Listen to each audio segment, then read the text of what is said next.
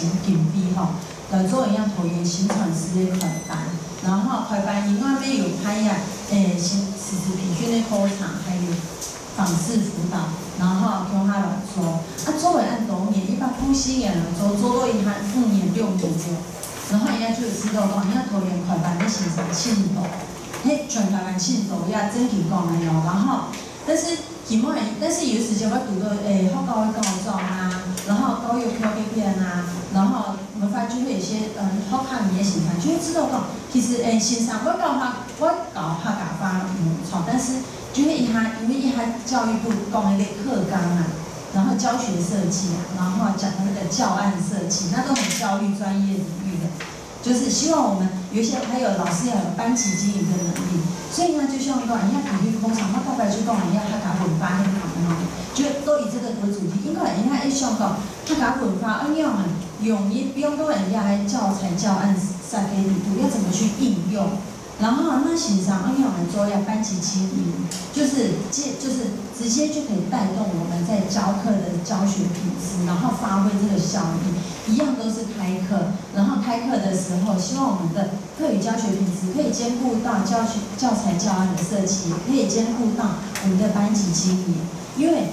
毕竟太大欣赏就会有行传时的直见，但是可能就是欠缺社会一些些那个少了我们教育的专业背景，然后人家具体方法，哎，那人家开班开案头，人家要让我们的椭圆的行传是不落人后啊。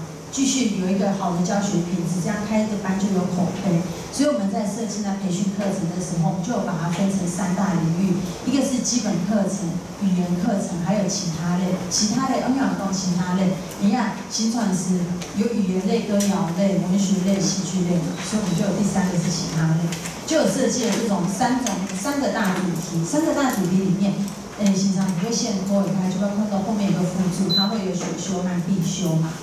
那以后你来参加我们的那个我们的跟跟我们申请开班补助的时候，你就要先想好两年后啊，你要是你现在开的班都是哪一种类型的班？那你两年后啊，你趁这两年拿到那个培训的及格证书，你就你就等于你就拿了第一张门票，第一张入门门槛，就是来可以申请我们补助。但是因为这对老师来说也是一个冲击，因为以前他感觉会有新传实的资格，就做在了蓝亚强补助快方面。但是人家一看，要有新传实的资格，然后我们要双波啊，所以人家有六年的时间，就会今年一百空九年，然后过个年一百一三年，他感觉要送给平均科场，然后拿到的呃测验啊，所以要科场每一个都会有一个测验，测验的及格证书之后，然后一百一十一年。你就可以申请我们补助的时候，你除了有本身具有嗯新传师的培训资格，然后嗯你有新传师的资格，你有通过我们的师资培训，这样子你就跟我们申请补助，就是你就拿到你入门的第一张门槛了。就是因为我们做的一个转变啊，新光太太就会讲，在教学的路上大家一起来前进，然后做得更好。那太太就会说说，那我拿到这张培训证书之后，会不会因为现在很多。嗯，你去看很多很专业的啊，医生啊、律师啊、会计师，他们拿的这种培训证书都会有一个效期嘛。阿公，诶，一年要六年，要修满多少学分，这张证书才有效。而我们人家汉言行传是人家有五年呢，五年的一个有效期的，所以五年还算很久。这个五年，这五年内你就可以安排好自己的时间，认真投入教学。然后有课程的时候，有新的课程，想要觉得哎，这个课程你，嗯。教学上面也用得到，你就可以再继续来上课。那这个证书就是有五年，培训证书就有五年的有效期。但是，你另换句话说，就会五年多尾，这个培训证书有效期到了之后，你没有再继续回去，你来跟我们申请补助，就就那个入门的门槛就会没达到。所以就是，嗯，老师希望就是希望老师说，在教学的时候一直教学，然后也可以来增加就是这种上上课啊，然后增加自己的教学技能，让自己。共同来提升呐，因为就会跟我们在平演做一样，嗯，师资培训的时候有做一个不同的设计，然后真正执行的时候是在一百一十一年，所以现场还有两年这个时段可以来做。而明年呢，我们开课的课程的堂数又会更多，就是让更多老师就是可以在不同时间，里面一样没有上到现场，有位。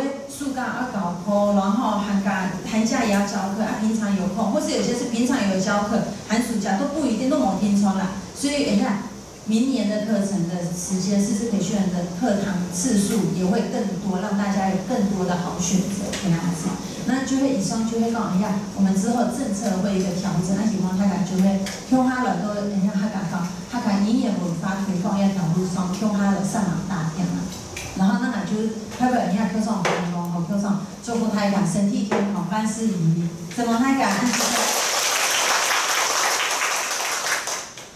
诶，感谢口长啊，大家做呀，呃，同时做的证明吼，那个诶，呃，那个全国来讲，所以头年的他家师傅就比较方便，这点动动用心去达标，就讲。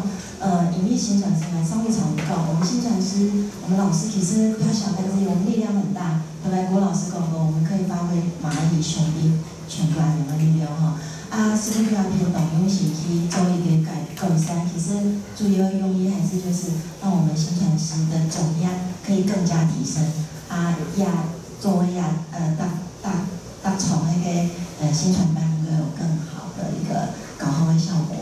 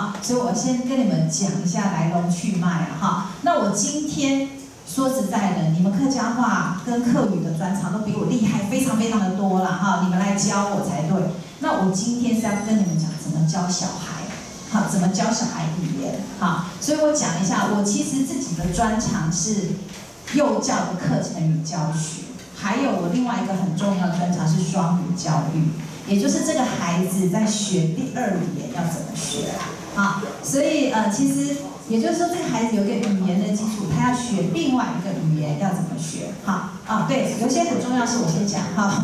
我们大概一个小时会让你们休息一下，好，去上个厕所啊，喝个咖啡啊，好，听听神啊这些。那另外。你们在我好像要来两三次哈，最后一次有一个测验哈，啊不要太害怕哈，我会跟你们帮你们复习，确保你们每个人都可以过，好不好？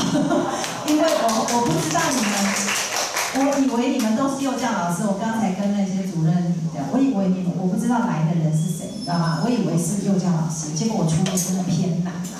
你们看那个讲义也真的是比较难啊，哈，其实针对幼教老师。我不知道你们是新传师为主啦，哈，所以我一定要帮你们复习，确定你们可以过这样子，哈，好，所以那个就不用担心，啊，每一个小时我就给你们休息一下，好不好？好，好，那就回到我的专长了，哈，我是 Wisconsin Medicine 的课程与教学的博士了，哈，那所以我一直都在幼教里面工作。那回到说为什么我会到课语这个领域，再回到民国九十六年，实在是很久很久以前。那个时候我们屏东县客家事务处的处长叫古秀飞，有听过吗？好，他后来到高雄客委会当主委哈。那他是我，我觉得他是我认识的这个政务官里面我非常钦佩的一个人哈，非常的有理想、有行动力哈。那他的一个理想就是说，他他那时候真的看到客语流失的非常非常，对，所以他后来就去，他就去看了纽西兰毛利语，怎么人家怎么保存的。纽纽西兰毛利语有听过嘛？哈，就是它本来已经快要接近灭绝了，结果他们经过有系统的保存之后，哎，慢慢的那个语言回来了。那他们的保存方式是从很小小 baby，我我后来上次有去纽西兰，有去过吗？有没有去过？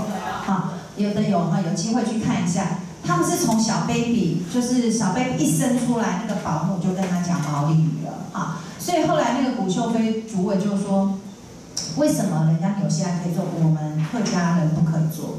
对，所以他当时就，我刚刚讲他是一个很有行动力、很有理想性的政官，他就跑去拜访很多个小学的校长，跟他说，哎，你们可不可以做那个纽纽西兰那个语言潮？所有的校长都跟他拒绝了。所有校长说：第一个，我不知道怎么做；第二个，我们没有那个环境做；好，第三个，也没有人告诉，就是没有人辅导我们怎么做啊！好，所以全部的人都拒绝了。那他就是一个锲而不舍的政务官，我觉得我其实蛮钦佩他这个。一般人家说想做，他没办法做，那就算了，对不对？他不是，他就是到处去问，然后就去问问问，后来问到学界，就问到学术界，好，然后他就去问：你们认识刘明忠所长吗？课文。他也是以前我们客家文化研究所的所长，他就去问他，他说：“那可不可以请你们去辅导小学怎么做？”好，后来小学说：“啊，我们没办法做啦，我们有自己的课程，我们有怎样怎样怎样，就是很多困难啊。”啊，最后那个所长跟他说：“啊，不然你在幼儿园做看看。”对，可是后来他想说：“哦，对哈，那不然我去幼儿园做看看。”所以他就去找了私立的幼儿园，因为私立的比较弹性，哈。所以后来有三所私立的幼儿园说，我们愿意让主委试看看，可是我们不知道怎么做，因为台全台湾没有人做过啊，不像现在大家讲课语沉浸，现在也有主语沉浸，知道吗？原住民语沉浸，现在也有闽南语沉浸，知道吗？啊，都是从我们课语沉浸 copy 这个模式过去的，但是因为我们已经做出来了，所以知道怎么做。可是当民国九十六年的时候，我们完全不知道怎么做。对，然后那时候我们的系主任叫陈仁副主任，有听过吗？有，他就是做戏剧很有名的 幼儿戏剧。那他是客家人，啊，他是林洛的客家人。那他当时是系主任，所以就辗转辗转的找到了我们陈仁副系主任。结果那时候他就主委就说：“那主任你可不可以帮忙去辅导这三个幼儿园，告诉他要怎么做课语沉浸的这个部分，也是类似毛利语的语言场。”好，我们主任因为是客家人，有使命感。一口就答应了，等到答应完的时候，他也不知道怎么做，所以他就他就跑来问我，因为我是双语背景嘛，哈，就 bilingual education 的，我其实也不知道怎么做，但是我想说，我就就我自己去看一些国外的文献，去看毛利语的那个怎么做，然后我们来试做看看。所以我们民国九十六年到民国九十七年，我们试做一年的时间，而且做完一年的时候，马上去评估那个成效，哈。那我这我是负责什么？我是负责课程设计与教学。对，那课语的部分，我们就像你们类似你们的新传是这种语言的专长的人会进来协助。好，所以我们会搭配，嗯，就是刘明松所长，他是课语的部分。那我们是做幼教课程与设计的这个部分。所以，嗯，不要再问我说为什么会来上课。我今天也是来教你们课程与设计，其实跟那个语言没有太大相关。那语言是什么语言都没有关系。所以其实我。做课语曾经后面我们学校要求我负责的是到海外去教华语，所以幼儿华语教学现在很夯。然后他们现在在国外也是用幼儿华语沉浸式教学。对，所以我那个语言是什么是没有关系的，我只要找到那个语言的专长就好了。所以我现在也在协助原住民语的沉浸、主语沉浸。所以你知道吗？我也会讲主语。对。所以我只是告诉他们，课程模式是这样，你今天套哪个语言进去，就是这样教就好了，哈。你只要有那个语言的专长，就可以用这套模式下去教，好。所以现在我们不是在推双语国家吗？英语要融进去，对不对？好，如果你会这一套，你就教英文也是这样教，好，也是可以教得很好，这样子，啊。所以我主要是跟你们讲一下，所以。等一下不要来问我那句话怎么讲，我真的也不会讲。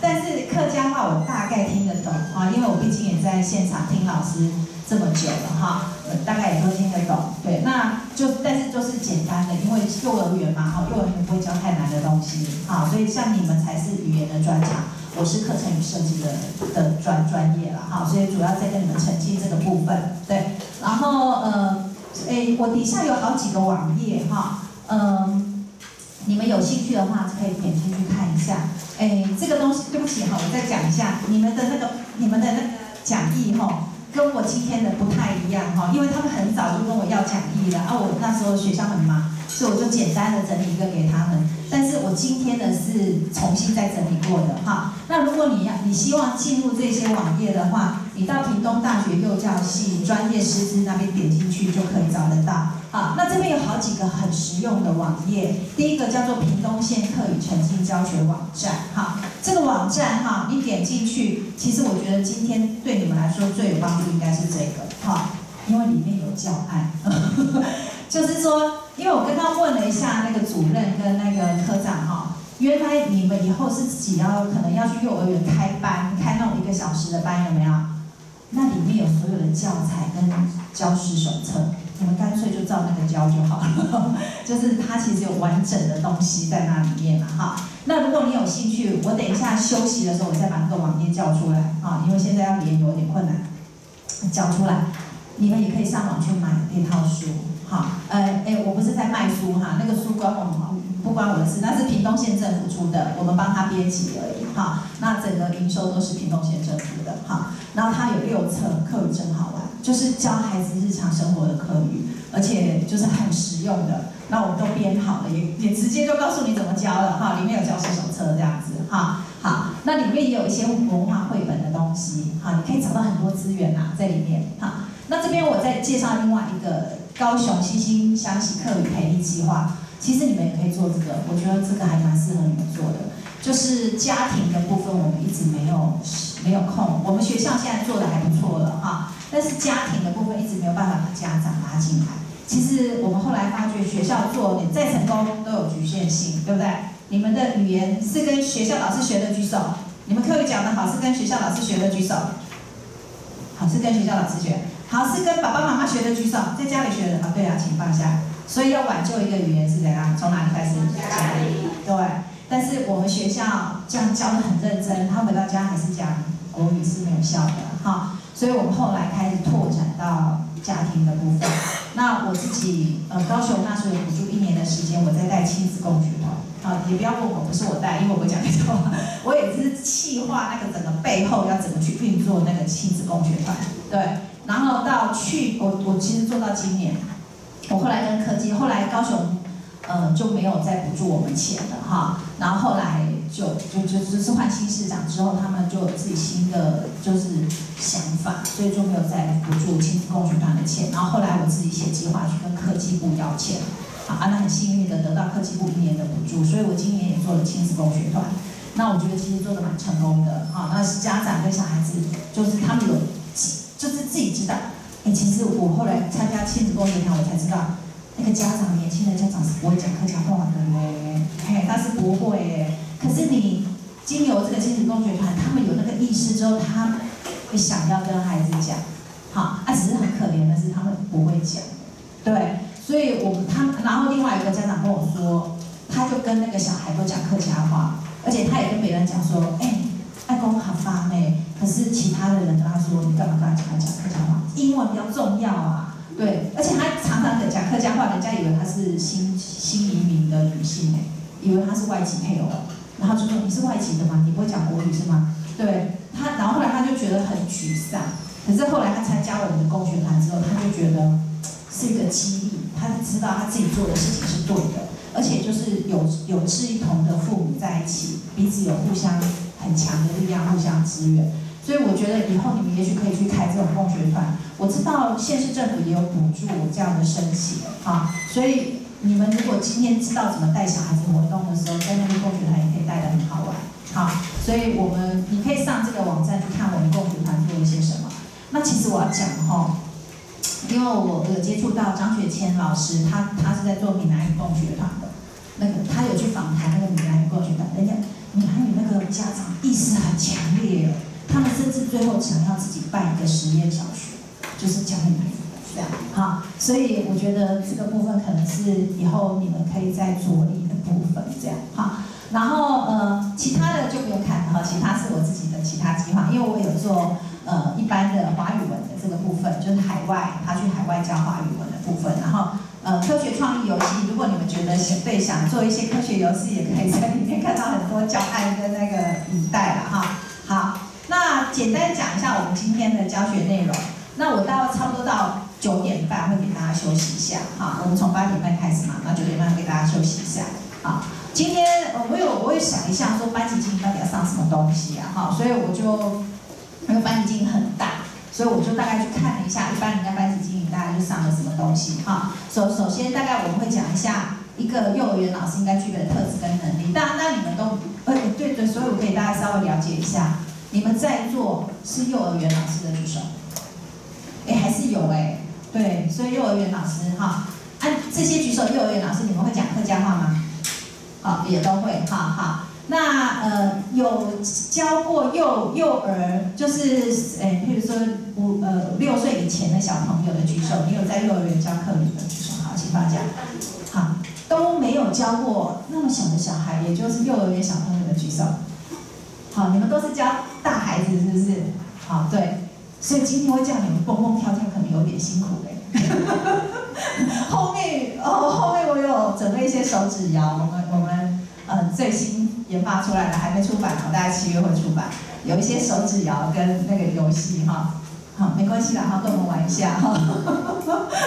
怕怕你们会觉得好，因为有一次我们那个幼儿园那个长官，台北课委会的主委下来看我们幼儿园教学哈，他看完之后就改讲，他说。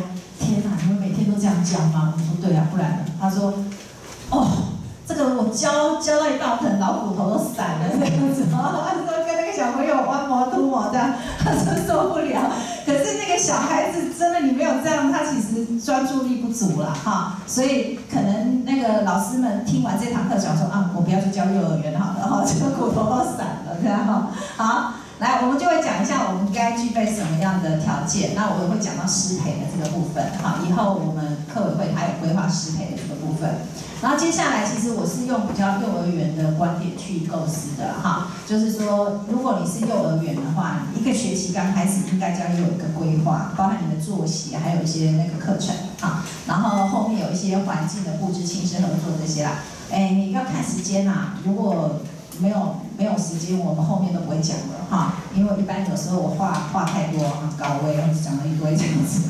好，来，我们先问一下老师，如果你们觉得身为一个幼儿园老师应该具备的特质跟能力是什么？我应该先问你们哈，你们有没有进行过课余沉浸，或者是受过什么相关的培训？除了这个研习之外，好，那可不可以分享一下你们上过什么样的课程？啊，老师点头呢。对呀，来，老师，啊，讲话，不然会睡着，哈，很 容易睡着。来，呃，我们，因为我现在目前正在推课语课语成绩教学，是。那每个月客家事务局会举办师资培训，那是针对呃课程、课程跟文化的部分。哦，课程跟文化的部分，对，所以就是了解一下客家文化，啊，你们怎么样把它融进去课程，对不对？啊，课程设计的部分是不是？所以你觉得一个课语沉淀的老师或者课级老师要会懂课程设计，还要了解客家文化，对不对？对，好，这是你觉得基本要会的。还有没有觉得需要需要培训哪方面的能力？哎，我这样问你们是之后你们可以提供长官参考，他们要要办出什么样的研习的课程？还有我们的政策。在拟定之后，课语老师，你们知道课语要正式培训了吗？课语老师、本土语教师要在师培大学，我们我他就有跟我们学校合作，要在师培大学里面正式培训具有证照的本土语老师。好，那你们觉得那个要有什么课程在里面？就是你基基本上一个本土语老师出来，你要那张证照要经过什么样的训练？音标。啊，音标就是标音嘛，哈。OK，就是基本上你要会简单的拼音。对，好，呃，但是幼儿园看不懂，对对，所以幼儿。对，所以幼儿我不主张拼音，好，因为孩子看不懂，他连注音都看不懂。对，说实在的，啊，所以你拼在上面，我也不知道你要给谁看。他说是我有听过，我有说给老师看啊，啊，我说老师就会念的，而且标音有个最大最大的问题，什么问题你知道吗？你们觉得标音会有什么问题？各家的。三头意思。没错没错，就是那个念法的问题，有没有哈？就是说同样南四线有没有不同的念法？有。对，哈，会不会吵架？会。会，而且，呃，我刚刚不是有跟你讲说我们有一个课语真好玩的教材嘛？哈，你就要去看。我们常常一直收到人家跟我们说，哎，你们你们不要错音啊，哎，你们不要错音啊。啊，可是那些音都是经过四五位专家学者整个矫矫正过的哈。那为什么有不要错音？啊，因为教教育部跟科委会他们也一直在改变啊，对不对？他们好像每年都会做一些些的修订哈。另外的，真的有一点点口音上的差异啦，哈。所以那时候我们在编，我我后来觉得标音对我们造成很大很大的困扰。所以后面我们的教材都只有课语字，没有音，就是没有标音在上面啊。然后呃，后来我们那时候吵架吵了老半天哈，我也不知道他们在吵什么哈，所以他们就说不是这样念，啊是这样念，啊这样念。有时候二声跟三声就差很多。对，啊后来我们决定，因为我们其中有个委员是美农人，哈，啊他有个美农腔，啊然后另外的是呃我们的这个内普，啊内普长治。啊啊讲的好像不太一样哎，对啊，所以后来我们决定用我们屏东的为主，哈，就是美浓是美浓的哈，你们自己自己去念你们美浓腔啊。我们其实闽南语也有不同的念法啦，哈，所以就是争议性很大，所以标音会造成，那字比较没有争议，字是 OK 的，啊，字我们好像都可以达到一致的共识，但是音就是一直都敲不定，哈，像我自己是我闽南人了，哈。我嫁我是这边的人，其实我会答应来中央大学，有个原因是因为我我我娘家在这里，我是顺便回来看看我爸爸妈妈年纪大了哈，所以我想说回来看，然后就顺便过来，啊不然真的路途有够遥远的，好，然后我嫁到台南，哦我跟你讲，我讲的话跟我婆婆讲的话不太一样哎，哈，她有一次跟我说，啊来，诶诶，你可以冰箱摕鸡鸭出来煮煮的，鸡鸭。我就想说鸡鸭可能就一颗一颗什么东西吧哈，然后我就没有问清楚，我就去打开冰箱，鸡鸭，哎，我就跟我朋友说包鸡呀，嘿，他说哇，我早上就美呢，他就说鸡呀，鸡呀是什么知道吗？爱玉，台南人公鸡呀，我有听好不？然后，对，然后他们我们讲就台南人那个喜欢一个尾音，你是安妮妮。哈哈，你是安怎呢？哈，跟我们北部的不太一样，讲法也不太一样哦。像我们讲香肠，我们讲 N 腔、灌腔，对不对？他们南部讲 N 层。对，所以你标音，我问你要标什么？对，所以我最后尊重这个孩子，基本上他教过母语嘛，我们就说你妈妈怎么讲就怎么念，对。哎啊，所以其实我们在屏东也有遇到这种状况，就是说，其实我们是教南四县，但是他有妈妈是从北部来，他可能讲呃北四的，对他跟我们的腔会不太一样。我们就说我们尊重你妈妈的那个发音，所以我们不太不会去硬纠正他，一定要，我们就问说妈妈是这样念的吗？他说是啊，好，就就尊重妈妈的念法这样子，好，好，但标但是标音是需要的，哈，就是说。呃，一般来说，你你自己在编教材的时候，你自己也稍微要有那个要有那个那个 sense 了，哈，对。但是基本上幼儿园我们不不标音啦，哈。那但是到可能到小学的时候，大一点点的时候，会有做那个方面的。还有没有什么训练觉得需要？啊？班级经营跟心理学。哦，心理学跟班级经营，幼儿心理学的班级经营。哎，你们有没有人要去参加那个幼幼课与闯通关的培训的？好，最新的哈，啊，报不进去是吧？进去，他们资料不符，不符要重传，到现在都没。哦，OK，好，那是台师大负责的，我们跟他们合作的，因为那一套是我们研发的，对，它里面就有幼儿心理学，对对，还有那个，嘿，对他们那个是觉得他们一定要的哈。其实老师说，本来跟他说，他施测人员就心理学了解一下，他施测的技术会就好了。干嘛要课程设计？又没有要去教，但是呃，中央课会非常非常非常的坚持，要会施测也要会教这样子，所以他硬要你们学那个课程设计部分，不然我们很想把它只化为一天，就是一天就整个培训完，让你会实测就好了。然后了解说小朋友可能会有什么反应，然后你知道怎么处理就好了。可是他们就是硬要有那个课程设计的那个部分，所以就会把它拖很长。啊，不过是很欢迎大家去参加，而是新版的，是玩游戏的方式啊，因为他这次要到四岁就可以，要四岁就可以来参加了，之前是五足岁。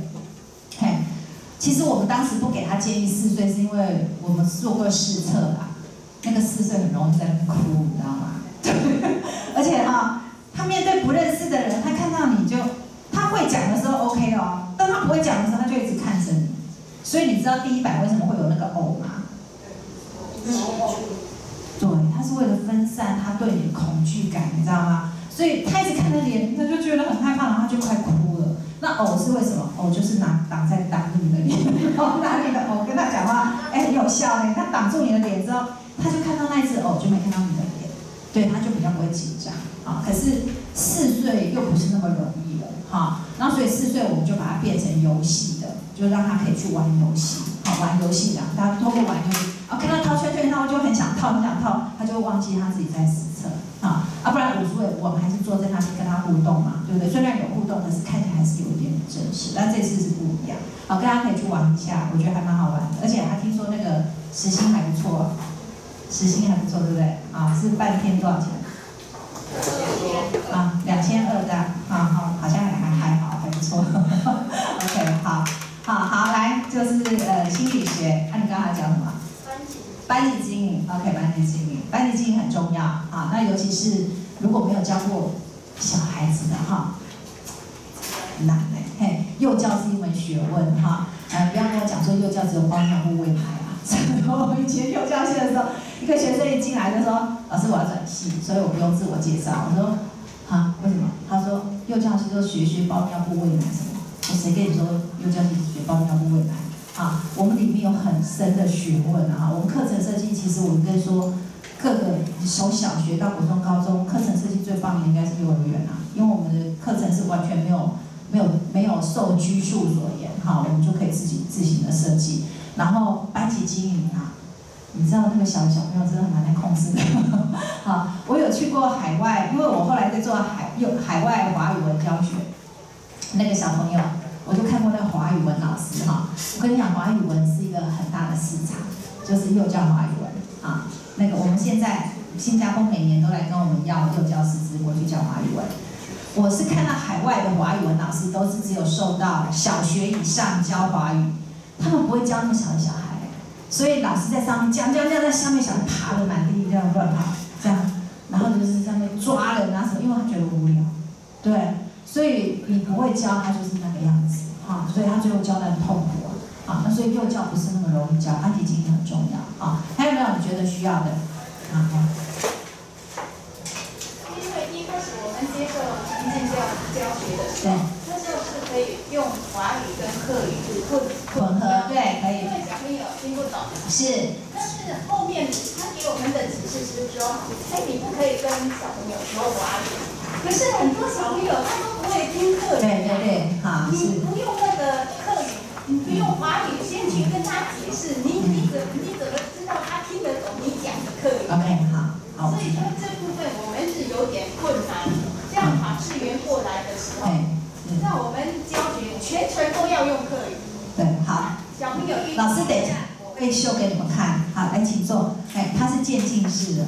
他不是一下全部用客家话，没有人这么强啊哈，哎，但是要有渐进式，所以我是不知道他访视的时间是什么时候，什么时间点进去。我们屏东的访视是一年，也就是你做了一年之后我才进去，所以一年的时间，我相信你可以全部用客家话。我等一下会告诉你们怎么做啊。所以当刚开始当然是客语加中文，客语加中文是两个穿插的，然后渐渐把中文去掉，只剩下客语跟手势。跟情境，好，然后渐渐的连手势都不用了，它只有课语，它就可以情境很重要。我等一下会给你们秀一下给你们看，好，所以我想今天我最大的贡献应该是让你们看一下它怎么样渐进式的到变成全部都客家话，啊，而等等一下你可以看得到，哈，啊，今天应该是没有问题，因为完全让你们看得到，就是说包含它的情境设计，啊，就是整个活动的设计，好，那我们就来看一下。要受什么培训，好不好？好，好，那我想课余沉浸它有条件的，它不是每一个人都可以都都适合做哈。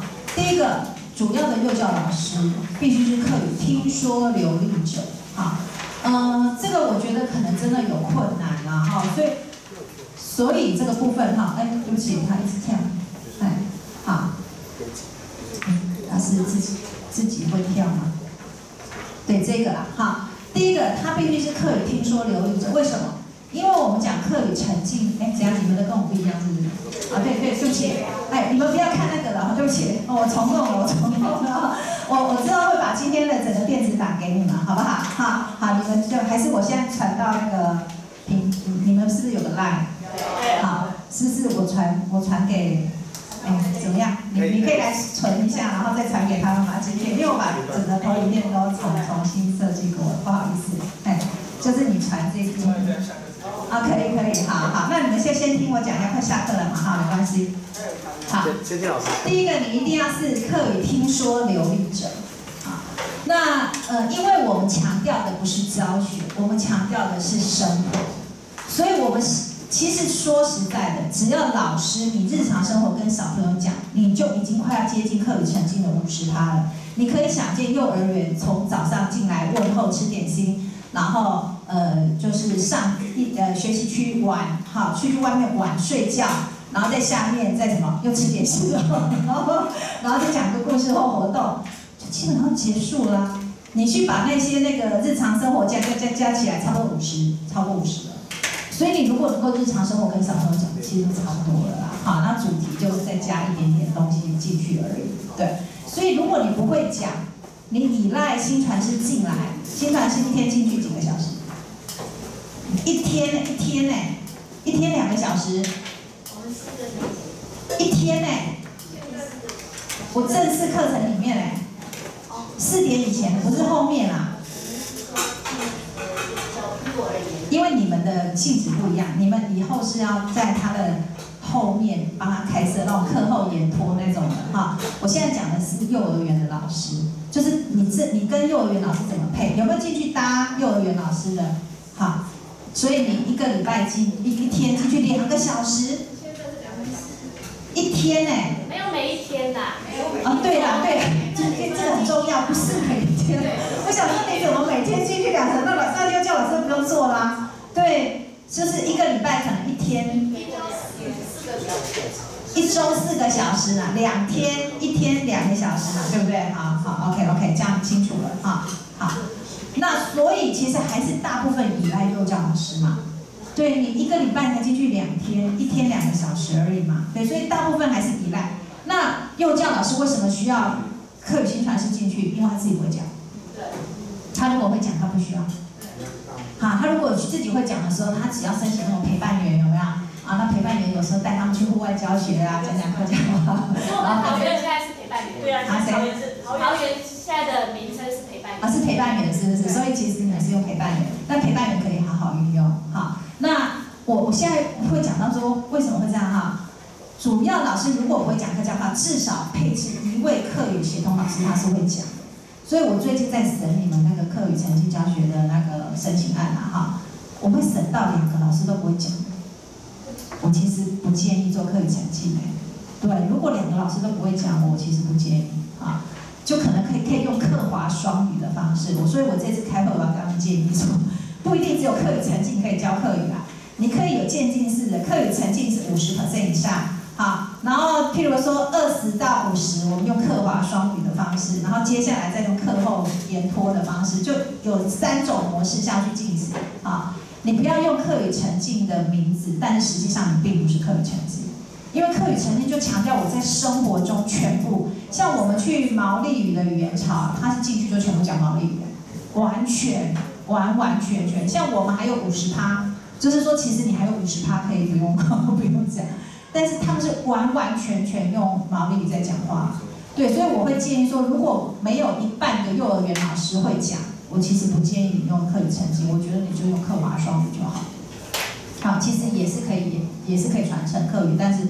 不是那么严格的限制五十趴的时间了，好，那我跟你讲，如果一个不会讲，一个会讲也 OK，那最好的方式就是你会讲的，你一直讲；你不会讲的，你就讲国语就好；你就会讲的，就讲客家话。那小朋友他会转，他会跟这个老师，因为这个老师都跟我讲华语，我就跟他讲华语；跟这个老师，我就跟他讲客家话，而且你要坚持。他跟你讲华语的时候，那个讲客语老师就是汤姆斯，是不是这样？汤姆斯，哎，汤姆斯就这样讲。那他这样子，他就会知道他要跟你。你知道啊，小孩子课语学的最好，就是跟那个阿公阿婆，阿公阿婆不会讲国语最好，他就死命一定要跟他沟通嘛，然后他就会讲出客家话。当他一旦知道阿公阿婆会讲国语的时候，他就不会讲，他就不会讲客家话，他就会用国语跟阿公阿婆讲。那阿公阿婆会客家话是没问题，所以他的听力是 OK 的，但是口口说就就不 OK 啊，所以他是有条件的。所以有这个条件的不多，老实说，因为现在年轻的老师会讲客家话的非常的少啊，非常的少。我讲我自己在，我我也有辅导高雄的课余成绩嘛，哈，高雄的美浓国小重点学校，美浓里面的美浓国小 里面的幼儿园老师都会讲客家话，好，可是他们的校长很想要做课余成绩，那怎么办哈？你让他们校长都很努力啊，那那个教师甄试的时候，你有没有办法甄试到会讲客家话的老师进来？你没办没办法指定，没办法，你没办法指定。人家原住民的，人家加分加的多，你知道吗？原住民级的，我告诉你，我这次有参加那个教导员的甄试委员，他们的原住民本身是原住民身份，再加上你又是通过主语认证的，加二十 percent，对。你知道上跟下差零点零七分吗？他加了二十分，所以他就必死，我觉得必上，就除非你真的前面考太烂，知道吗？那课语有没有办法？其实一直在讨论。哎，结果近年来你可以注意一下，有几个县市开出课语教师缺哦。像美农小学之前开出两个正式老师，要课语会精通课语，听说流利的啊。然后。最近的幼儿园，我有看到苗栗开出了两个缺，好像之前的台中有开出两个缺，要客语的，要会讲客家话的啊。所以现在有逐渐在讨论，在重点发展区，就是客家重点发展区，是不是可以优先录取会客客语听说流利的，包含校长是不是可以留任久一点？因为其实你就会分发到客家重点区，就问校长不是客家人，有没有？对，然后老师不会讲客家话，然后你硬要他推，他他怎么推啊？啊，那我现在跟你讲美浓国小怎么推。美浓国小校长就站在那个分，呃，就是那个叫他们不是要填志愿吗？他就这样说：我是美浓国小的校长，要填我们学校的老师。第一个希望你会讲客家话，因为我们是课语成绩的元素。如果你不会讲，不好意思，你要学。好，所以你可以你可以填，但是你自己要学。好，所以我告诉你，我第一次去的时候，那个老师都差的要死，他们说他们不会讲客家话，对，但硬学。我现在想说，你如果真的不会讲，你要学。好，所以你们的师资培训要教不会讲客家话的老师，起码日常生活要学，也就是问候啊、欣赏按奏啊、哈、当奶料啊、哈、海 C 啊什么那个些简单的班级经营用语，那个日常生活的都要会讲。好。所以我跟你讲，美容国小，我到一年后，老师刚刚讲说很难嘛，对不对？闽南籍的老师，一年后，我是看他上他整堂课，没有讲一句国语，对，他自己学啊，然后后来讲到有一个哈，三年后我去看，哦，那个老师真的是要很佩服他，他就讲的还不错的呢。而且后来他调到高雄市中心的时候，他还帮忙推客家语，就科语传承这样子，他就上出心得来了，这样哈。对，所以呃，他还要有老师愿意的啊。那我实际说，老师说一句话，我觉得课语真的非常的危险。因为我自己在大学，我们要找研究助理啊，我们就希望能找会讲客家话的。我跟你讲，我找不到。对，我就说啊，不然找到了，就是他讲的腔调跟我们不一样，他可能讲海陆的啊，然后我们是南四县的，对。所以我我以前都坚持要他会讲，会听说客语。可现在都找不到，所以就找那种大概会听就好了。啊，说就是那个哩哩啦啦这样子的，嘿，所以我觉得真的很危险。比如在师培端，你就已经看不到那个老师会讲。那我问你，你你你奢望什么课余成绩啊？就没有几个会讲啊。对，好，那。第三个条件就是最少五十趴以上。那这个五十趴不是说你课程这样子，我是说你从进去到出来，也就是整天的时间加加起来五十趴。所以我刚刚讲那些什么吃饭、睡觉什么那些都是，上厕所那些全部都是啊。所以当你作息表你自己稍微标注一下，哎，五十趴超过了，那就是啊，好。但是如果你自己老师是不会讲的，你只依赖一周两天进来的，我跟你讲，你大概达不到五十趴啦。说实在，除非你老师跟着学。呃，人家人家在上课，你也就在旁边听听听啊，听完了之后学起来了嘛，对不对？啊，就跟小朋友讲啊，啊啊，所以刚开始不要教太难的东西，要教什么？对，早上问候教完了啊，是不是老师也学起来啊？他下次来就早上问候就跟他讲讲了哈。啊，点心的，看你尝试的点心有哪些哈？啊，教一教，啊，下次他们发点心的时候就可以跟小朋友讲啊，不是这样吗？现学现卖，现学现卖这样啊。我跟你讲，那个我们有一次在那个呃高雄的纳马夏那个老师，他汉人呢，他是主语曾经幼儿园，对他跟着学，跟着学，他跟学到他自己都会讲，就是很用心的老师，然后就跟着学学那些日常生活用语。好，那如果你说老师到底要教哪些日常生活用语，我们有一本专书，我等一下调那个网站，我等一下先介绍一下那个网站。那边有一本专书，我们有列出，甚至在那个网站，我们就有列出日常生活用语以及班级经营用语。所以，请新传师的老师进去的时候，你先不用教别的，你就先教那些。好，把那些教好，孩子日常生活中就会讲，会讲，就基本上可以达到最基本的要求了。哈，你以为真的课堂上讲有多难吗？我有上过那个全英文班，我以前是全英文的老师哈。他不就课堂上用语不就那一两百句吗？那你就教会了，你这就那一两百句就是班级经营用语，不就站起来，然后去排队，然后上厕所不要讲话哈，然后坐好，这不就是那些吗？啊，他上厕所不就是那些用语吗？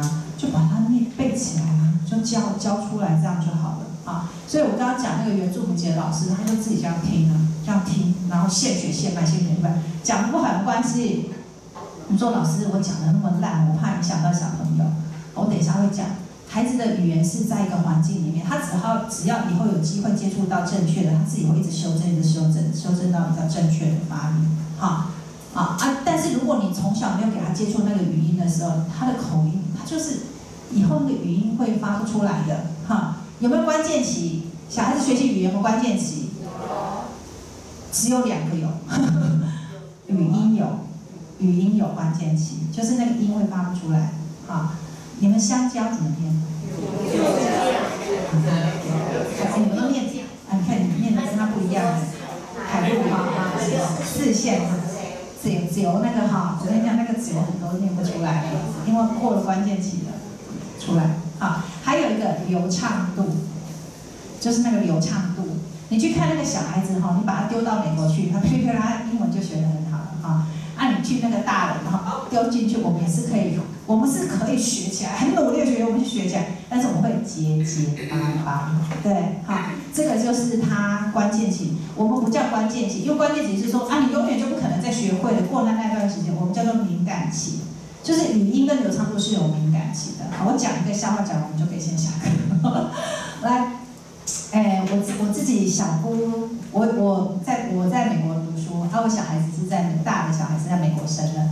那时候怀孕的时候，我婆婆就很担心啊，就想说，哦，这个怀孕啊，啊也没有人照顾啊，然后自己要在美国生小孩啊，哈，然后那个呃老公又是那个耍耍这样子，所以就找我小姑跟她的先生说要来看我这样。结果你知道美国哈，就是那种好山好水好无聊的那种地方。啊，台湾是好山好乱好好玩这样子，他们来了没多久就觉得很无聊。啊，我们我们 Madison 是很漂亮的地方啊，是整整座城市都像公园一样。可是他刚开始觉得哦好漂亮好漂亮，看到最后就，哎呀怎么那么无聊？到底可以去哪里玩？所以后来最后我是那边考博士资格考考完的时候，他说大嫂你会带我出去玩？然后我就想好吧，我带你去黄石公园玩。我就搭着八个大多月的那个肚子带他们就哎呦。肚子太大，我没办法开车，所以我就请我小姑她先生开车。好，开车开开，我们就到了黄石公园。啊，黄石公园它那个路是这样上上下下上上下下这样子，啊，速很低，因为。它常常会有野生的野牛在路上走，所以他怕你开太快会撞死野牛，所以他上下上下的时候，他那个速线都很低。然后我小郭他先生开车，他说上嘛就是加油门，对不对？但是下的时候就给他滑，他说这样比较省油啊，哈。他说你如果一直踩刹车的话，但是你给他滑的时候就超出速线，对。然后他就在那边滑滑滑的时候，他就跟我说，哎，大嫂，我听说吼，如果被警察拦下来的时候，如果不会讲英文，好像不会被罚钱。所以等一下如果有警察拦下来，你都不要讲话哈。我就说哦，真的哦。他说对呀，就好死不死，他讲了没多久，就有一个警察骑着马，花石口也是骑马的，所以你知道我的速线有多慢，骑马都可以追上我们，然后就骑马就把我们拦下来了，好拦下来了。他刚刚是不是叫我不要讲话，所以我就没有讲话。然后他就，啊那个警察就一个很年轻白人的警察，然后就下来就说，哎，May I see your driver license？就是看他的那个驾照。结果他就说，嗯，I 嗯 I am at home，就是放在家里的意思，但他只有写 I 嗯嗯嗯嗯 at home 这样子哈。然后嘞那个警察的脸就有点红了，这样子就想说，at home，OK 哈，So man's your passport？就是护照。然后他就这样，I 嗯嗯 I 嗯 at home。结果哎，结果真的他。那个整个那个警察脸都红掉，他不知道怎么跟他沟通哎，然后他就讲 Drive slowly，就真的没有开 ticket，没有开没有开罚单给我。但他走的时候，我就跟我小郭的先生说，哎，你很好笑哎，你是故意的还是真的不会？他说，哎，他不是故意的。他说，大嫂，我真的紧张的时候，我只剩下 I 跟 A 的后，就是单字串不起来。所以他说，就我刚讲流畅度。那个文法的建构流畅度，他说他串不起来，他只剩下单字。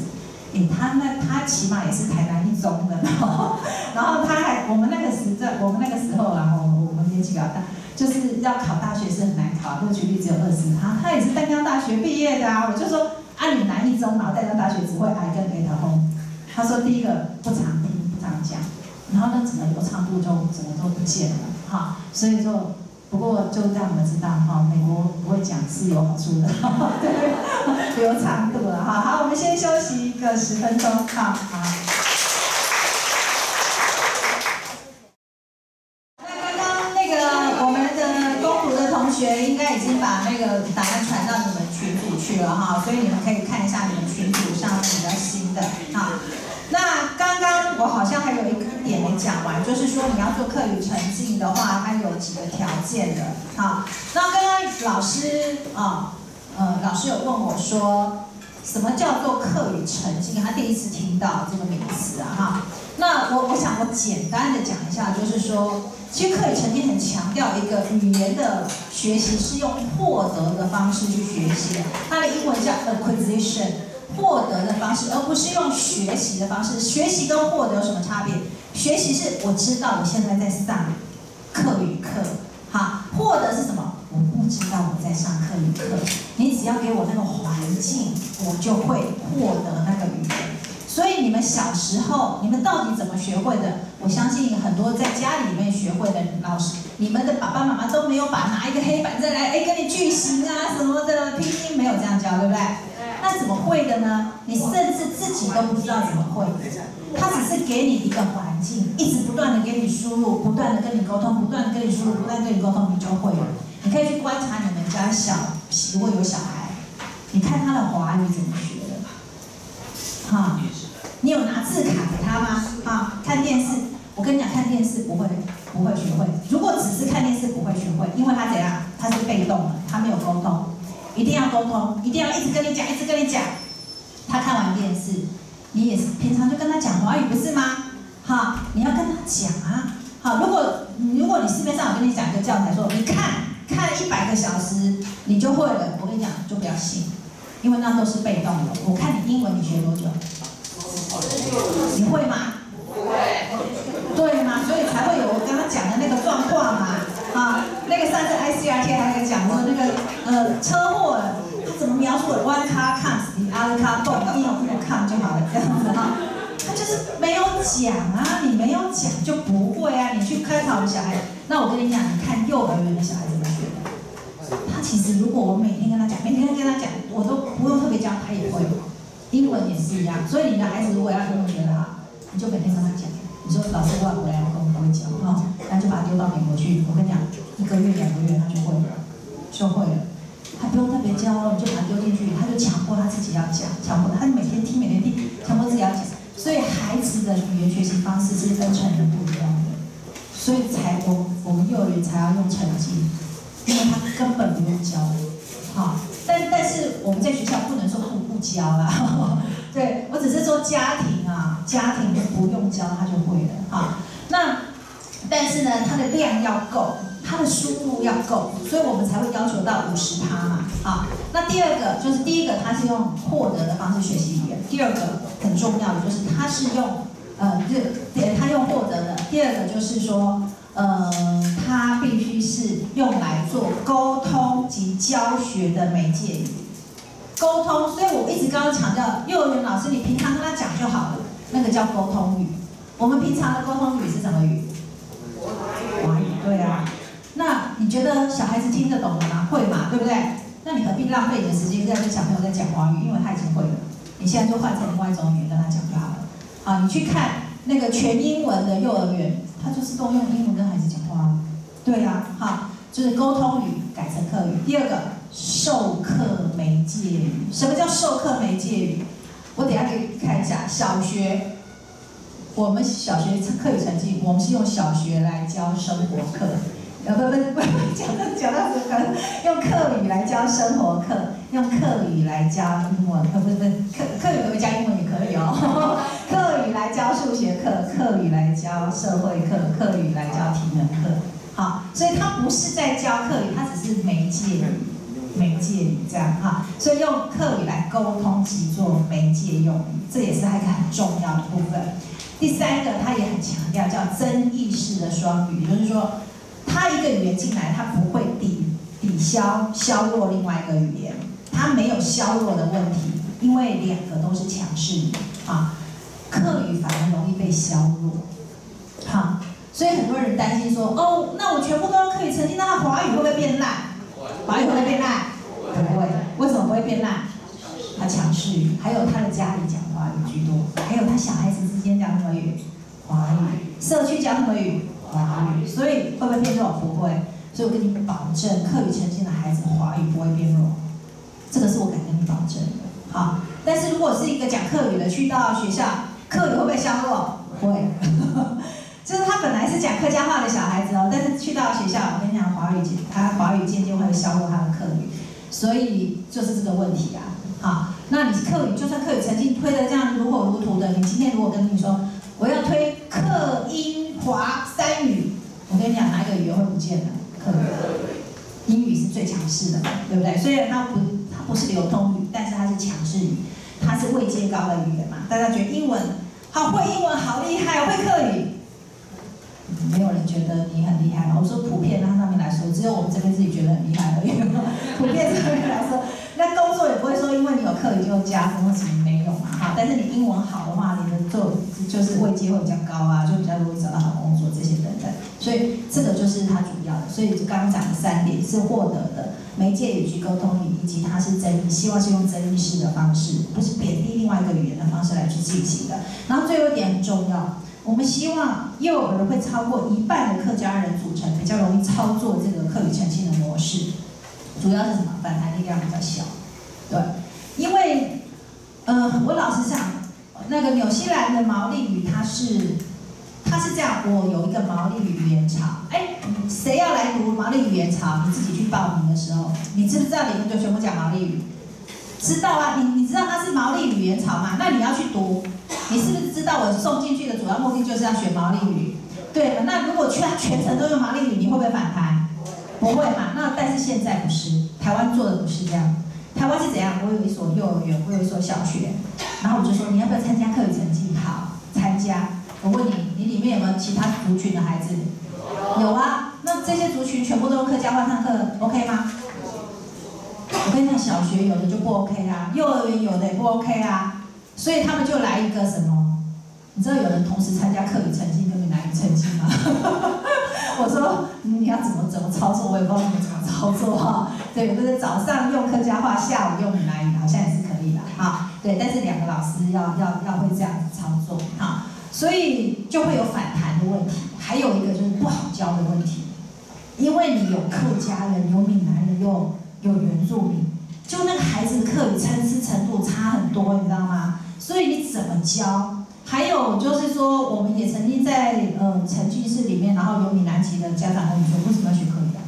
那我们闽南语自己都不会，那我们可不可以闽南语沉浸？就是会有这种反弹的问题。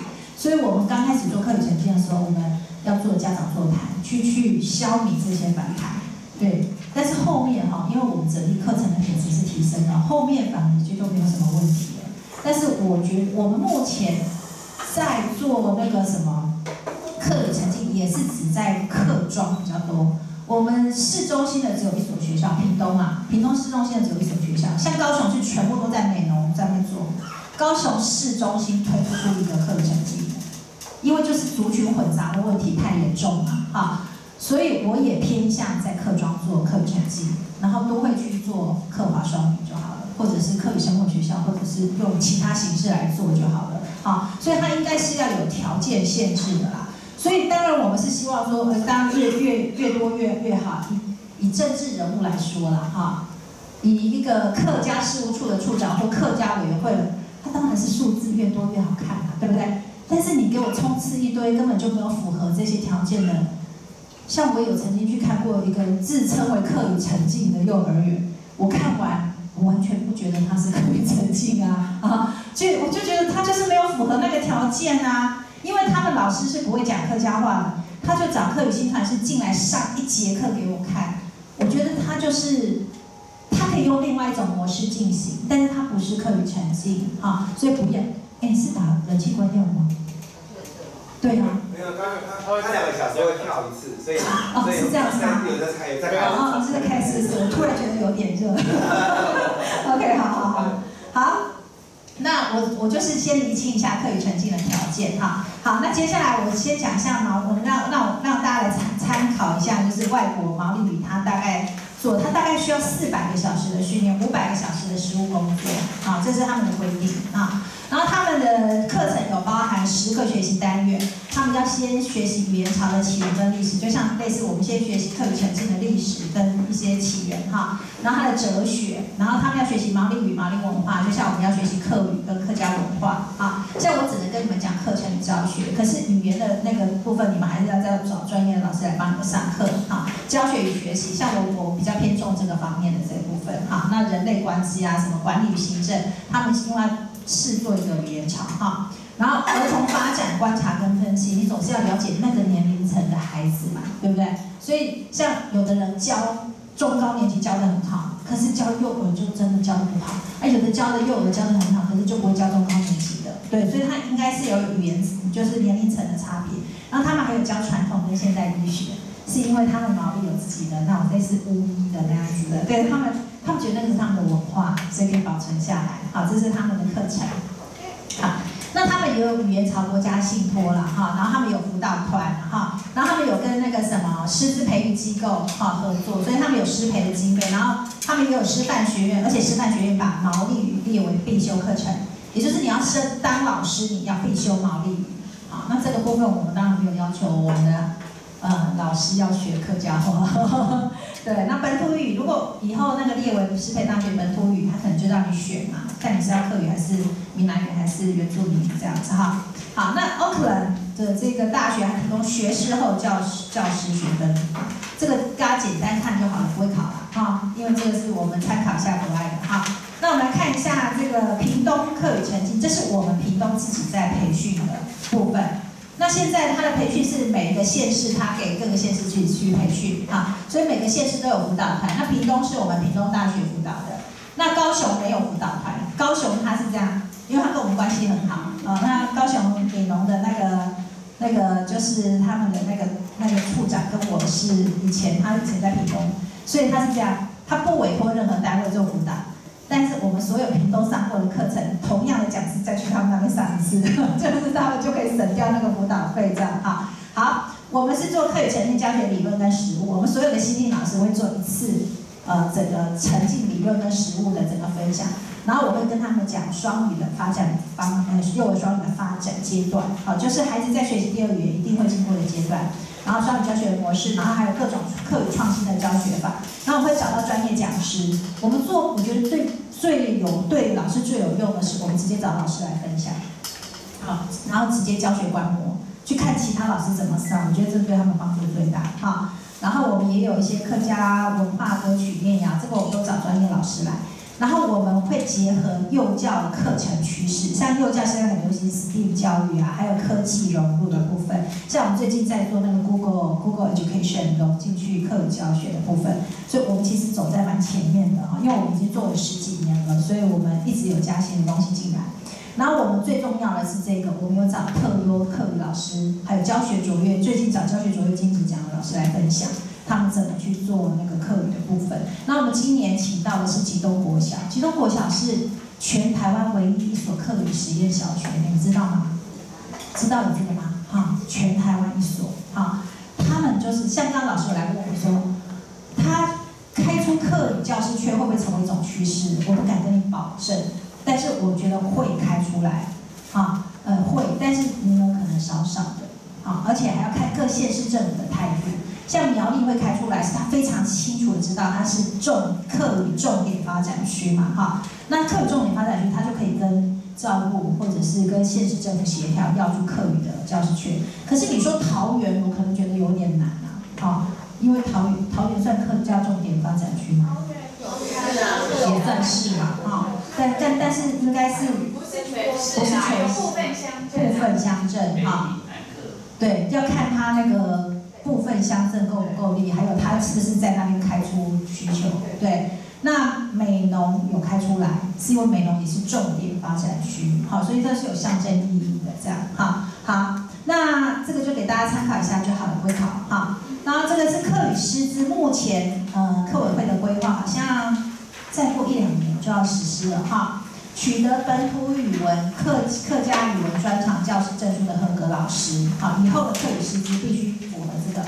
取得课语中高级认证以上的现职老师，客家语文教学支援工作人员，哈，或者是中高级以上，然后这个任何教师这些等等，这是他目前规划要朝这个方向去走，就是把你们正式化，好，把它变成正式的本土语课语师资这样子，哈，不再透过零零散散的研习这种方式来去进行。啊，它要有系统性的栽培，那这个也是跟着毛利的那种方式来进行的，啊，有系统性的来栽培这个师资。好，这是一零九学年度要启动的本土语文师资培育，它会透过职前培育或者学士后教育学分班，所以以后如果想当正式的老师，你就是大学毕业之后再去加修这个学士后教育学分班，或在职进修呃专长，你就在职进修专长学分班的方式，都委托师培大学来进行的，啊。这个这个部分稍微注意一下，一零九学年度现在不是就已经是一零八学年度了吗？那一零九学年度就正式启动啊，对不对？知道这个讯息吗？知道。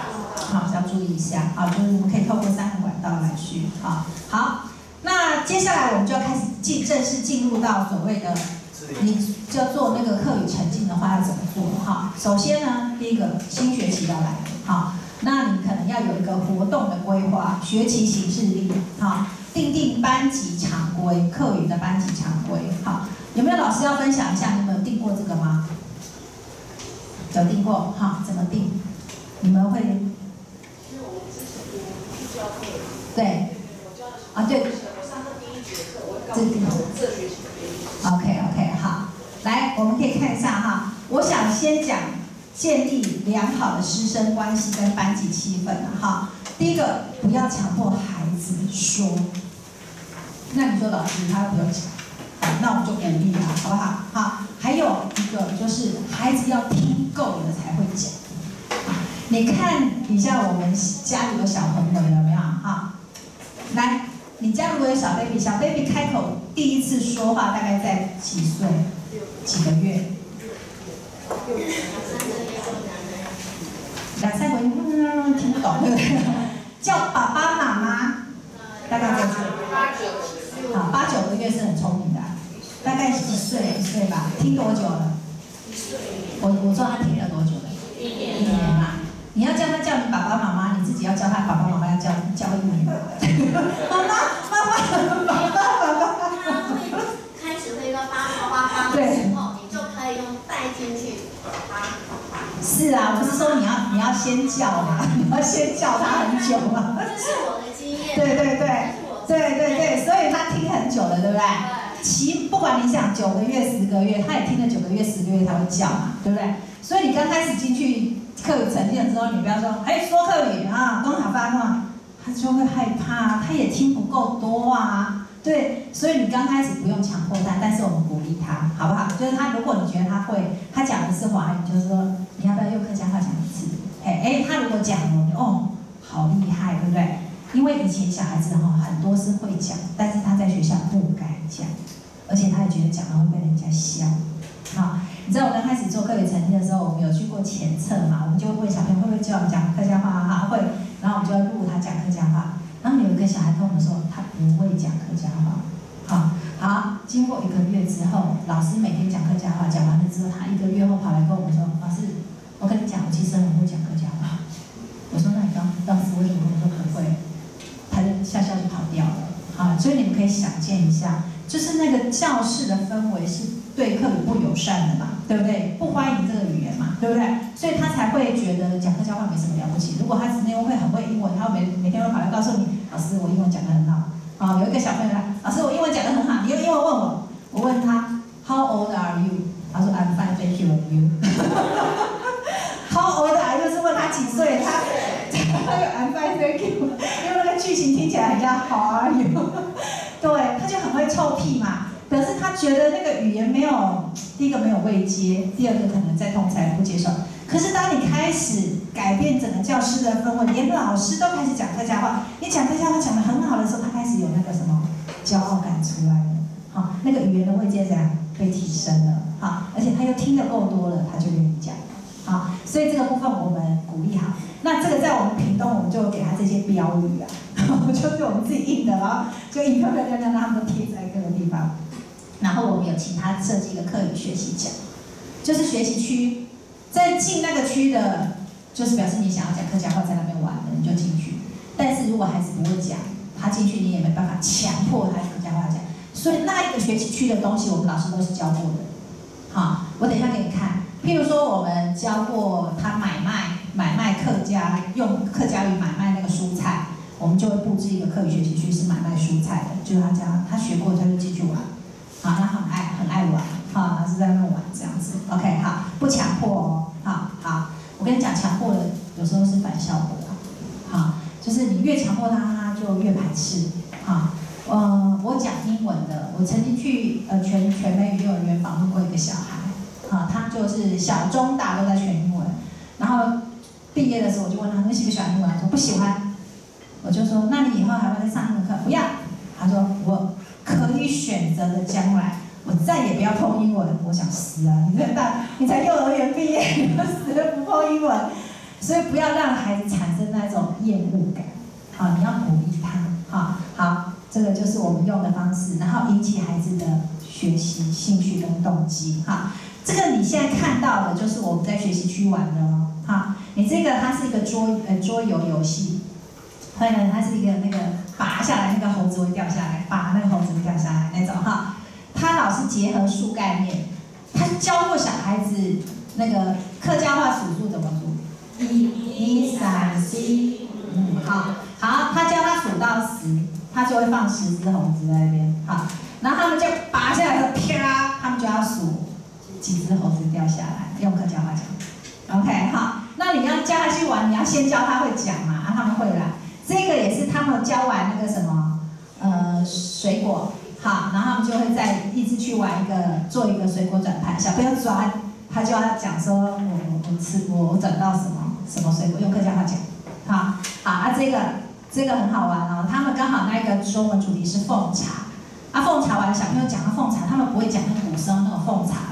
他们就讲，我有去买那个珍珠奶茶、那个绿茶什么茶这样，哎，老师就觉得，哎，这很好玩，就在那个扮演角就扮弄了一个这种茶，好，然后他们就可以点茶，好，啊这边他就要，你要句型有时候会忘记小朋友，好，啊他这边就会列出他要买茶的时候讲什么句型，啊，然后他们就就用客家话在那边买卖茶，好，也就是让他在学习区里面觉得好玩，又可以同时练习，好，这是我们幼教目前做的做法，好，好，真实语言的输入情境，我刚刚讲吃饭、点心啊，就全部转成客家话啊，所以你刚开始不会讲，你就安排一个礼拜就全部上点心了，好，这个礼拜他每次吃的时候就说啊，今天吃什么怎么讲？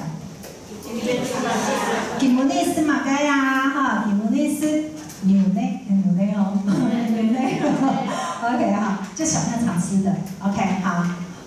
然后这边我给你们直接看了哈，哎，这个是这，我先给你们看小学的，啊，小学看，你看它，哎，对，这个 Google 不能，这个它会直接跳到那个 Google，等一下哈，给你们看小学的部分。小学高中高年级哈，可以讲就很难。这个我刚刚本来就你看，中高年级就很难带了，他就有自己的想法跟意见，你叫他讲哦，就很难了。所以幼儿园的小孩最好带。嗯，他就把老师当成那个偶像哦，你讲他就讲。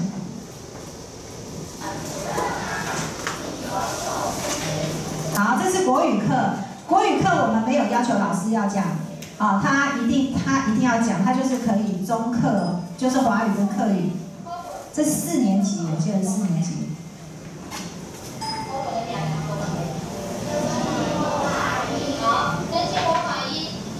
因为是国语课，所以他会很多的国语，看。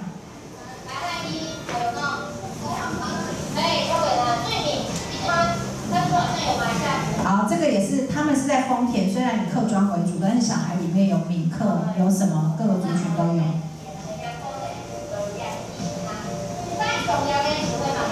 好，你看，他觉得动作或者是情境可以的，他都不需要翻。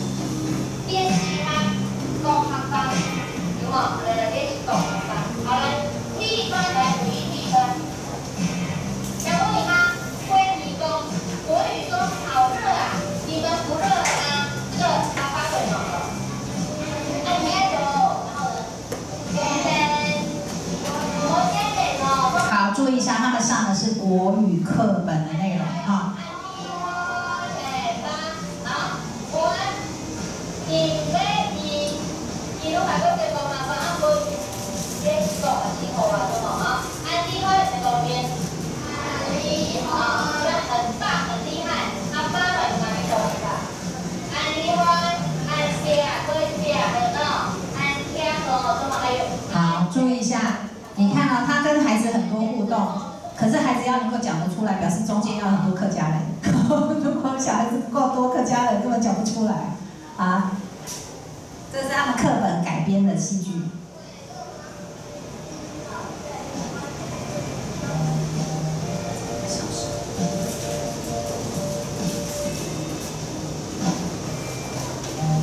然后你知道小四的小孩子会害羞的，所以他们就会有点去讲客家话。可是小一、小二都还很好啊。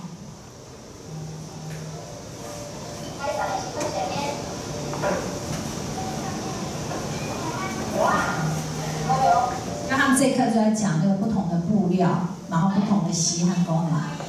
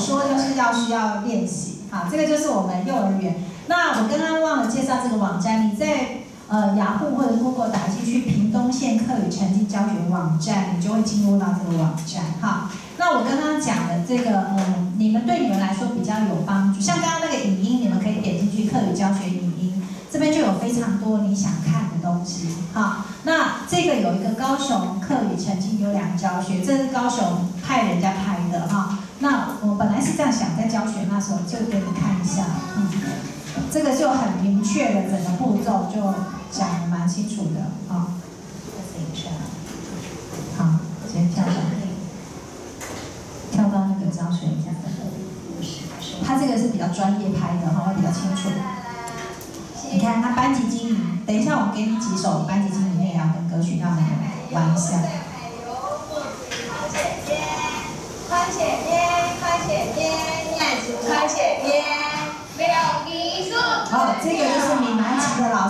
完全本来都可以讲客家话的，别嗯，讲的怪怪的啦，对，但是他很努力讲。好，呃，这个来不会讲的话靠小老师，他们小孩讲的比老师好，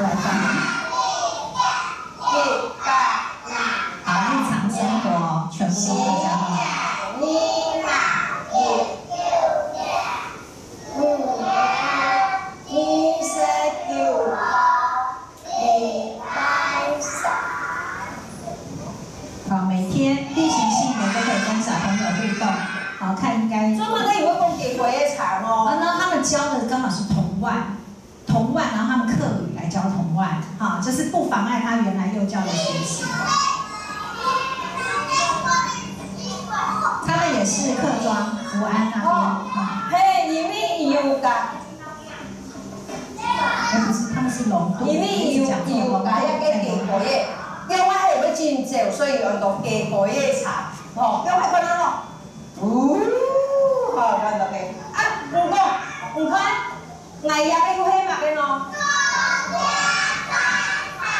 嘿，要給給鬼兩個老师都客家人，做哈，乜你要所以都沒有問題，茶自己带。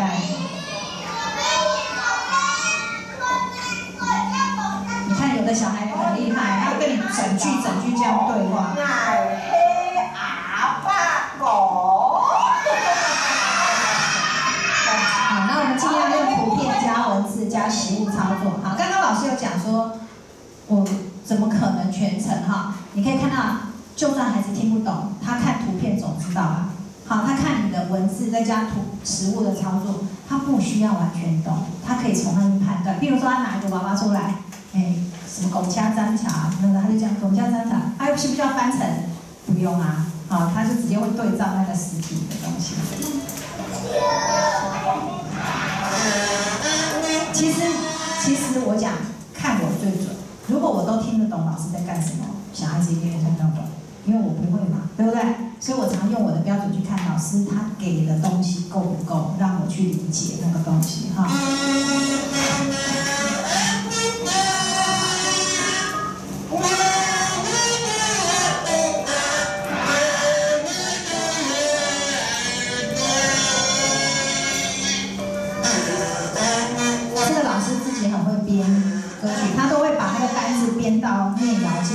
然后让小朋友边念大家熟悉那个单字怎么怎么讲。自己编就好了哈。啊那会靠那个常用的歌曲就这样丢进去唱。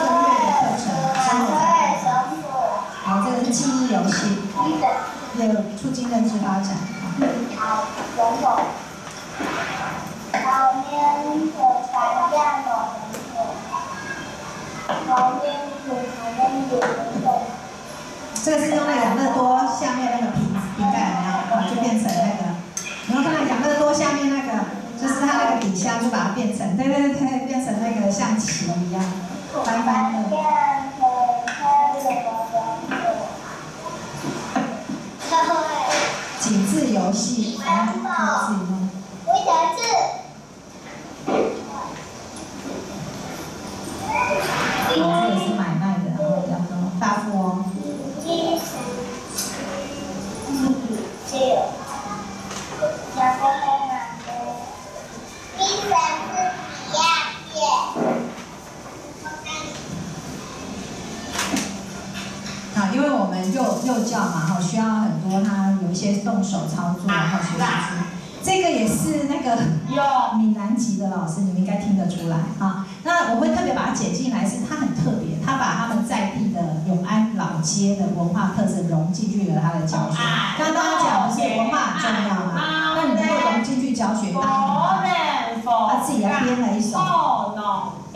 讲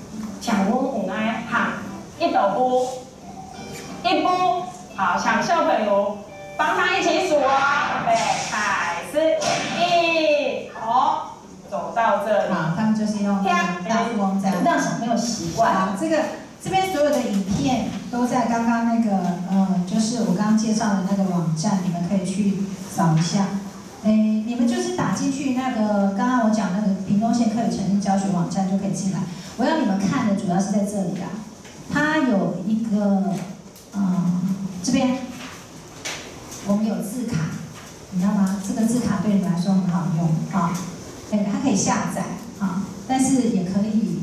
等一下，它不能在 Google 里面哈，它在 Explorer，可是问题是你的 Explorer 这边现在不能用。我看一下，它的 Explorer 不能用。啊，你回家的时候，在 Explore 里面打开，它会有电子书，你就是按下去，它会有一一翻页给你看那些字卡。啊，如果你觉得这个字卡很好用的话，你就点，它一次可以下载一整册。你自己可以下，你自己可以去印。只是我们我们屏东是免费提供给老师一一个老师两套彩色的，看，对，让他们可以一套玩一套贴，好贴在那个布置情境啊。这个字卡是非常好用的。另外就是，嗯，这边有个客家文化绘本啊，嗯，它一样在这边是没办法，哎，这个，它 Google 好像不可以让人家看那个 Flash。你点进去的话，你在 Explorer 里面看，它好像不能看。Explorer 里面看，它就是有电子书，一页一页翻。如果你对文化活动很有兴趣的话，我其实很推荐这个文化活动。它里面有十一住娱乐，跟客家人相关。然后里面有很多像食，它就会有一些什么福菜的、踩踏福菜的那些活动哈。然后我跟你讲可以做什么活动，这样子可以吗？好像哎有了，好谢谢，好，那你就是每一本你都给他点进去看一下，像四枪枪，好这一本，对，然后他就会，呃，这个有没有在卖啊？不知道，好像绝版了，因为我们当时是用精装版，所以很贵，对，但后来高雄把它印成平装版，而且给老师好大，是那种大本书这样子，好，我们高雄屏东比较愿意花钱给老师，就印了很多给老师，哈，然后。像这个，它后面主要是这个是绘本小故事，讲完小故事了之后呢，它后面就有呃一些文化注记，哎，不是，对，文化注记的东西。然后在后面这边呢，有教师呃亲子共读导览，在更后面这边有老师可以做的活动。啊，这个台南之前有拿过去玩，啊，就是做了很精彩的一个月的活动。那它总共有。十一住娱乐跟客家特色，总共有这么多本，哈，这个可以用。然后另外的话，对你们来说最好用是这个课语真好玩，啊，课语真好玩，你可以看一下，它都是编非常的嗯实用的。像我刚刚讲说，你就从日常问候跟点心开始，你看它刚开始就是问候语，啊，然后呢就是嗯，对，它有歌曲念谣，嘿。好好，这样比较清楚。好，好，好。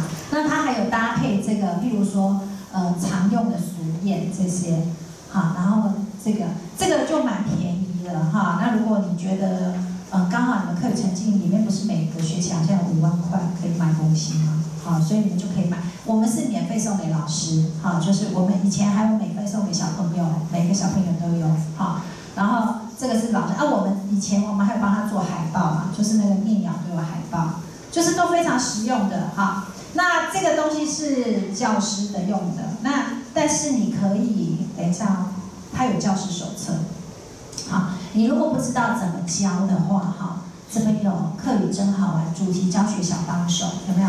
主题教学小帮手这边它就有教师手册，好，你可以。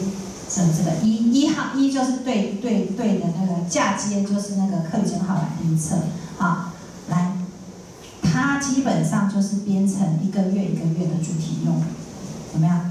啊，就是一个月三四周这样子，然后它有主要的句型，然后教教可以怎么教，都已经帮你弄好了。哈，如果你有兴趣的话，哈，那其实我们刚开始为什么要编这个？本来我们都叫老师自己去设计，但是有一些新老师真的不知道从何开始着手。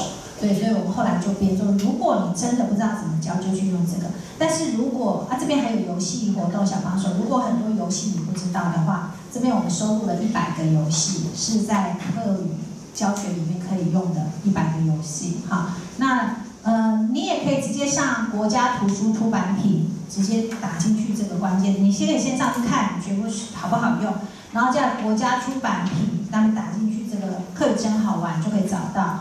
然后或者是主题教学小帮手这样，好，然后我可以看，然后我觉得更好，也很好用的，这个是下次我们再教，好不好？就是那个字字编教材，节庆，我觉得是很好用，我们过节的时候就可以跟小朋友，嗯，就是讲这个，像母亲节，我们就有母亲节的，啊，然后母亲节里面，这个是高雄课委会编的，啊，母亲节里面常用的句型跟单字。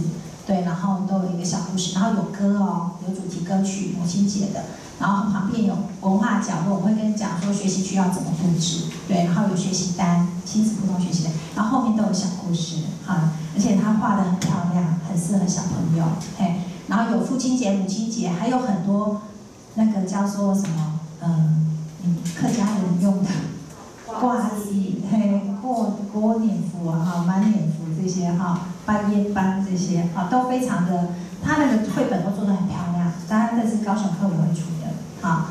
对，那中里面有很多东西大家可以去看嘛哈。那怎么编？我下次再跟你们讲怎么编，你们自己可以自己编哈。因为我们是有县市政府，他愿意出钱，对，所以我们每年都会收入老师，嗯，就是优良的教学，把它编成像我讲这个奶胎诶。奶胎也是幼小衔接课程，就是老师刚好在做幼小衔接，他把它融进去课里，所以他这一本就是在讲我长大了要上小学，好，然后小学跟幼稚园有什么不一样啊，好，然后有作息不一样啊，座位不一样啊，好，然后要自己整理书包，要抄联络本来要打扫学校，然后哦我要读小学了，然后就会有主要的单词跟句型。然后他的歌曲内容跟学习单跟教师手册，OK 好，所以这边有很多东西。那还有就是，如果你想要更了解课语沉浸、有教学理念、实施的方式，好，那刚刚我讲说你不是要日常生活用语先教嘛？来点进来日常生活用语这边有没有？先教寒暄用语，好，再教教学知识语，好，再教活动用语，再教这些啊，大概一个学期。慢慢教，一个学期教完，先教这些再说啊。好，啊，其他先不要教了，啊，其他太难了。像像我刚刚给你看那个主题融入，那个都有点难，那个要进阶的老师再去教那个东西。好，我们先再休息十分钟的时间，所以四十九分的时候再回来。好。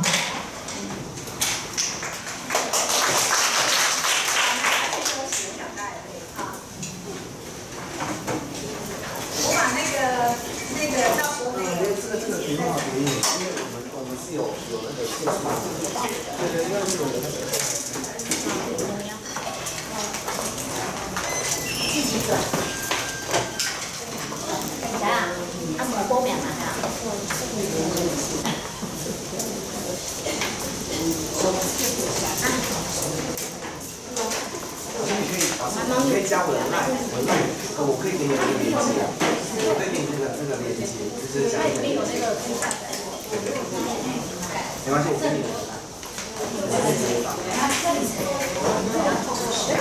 介绍一下，因为我我这个没办法给你。嗯。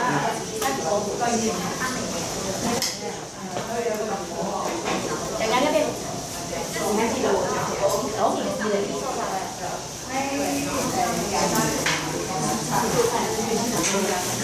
对。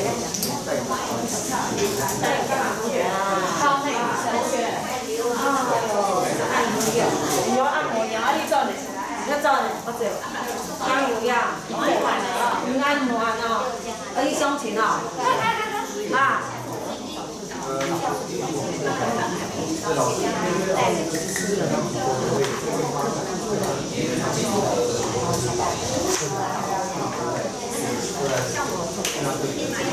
的，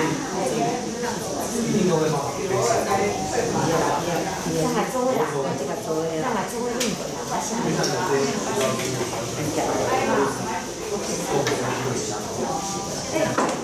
一年一年见一次面。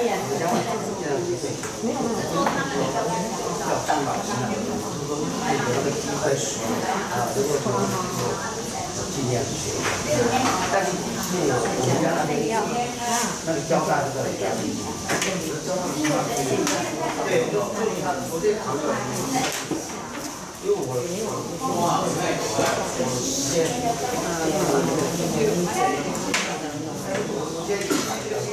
视野方面特别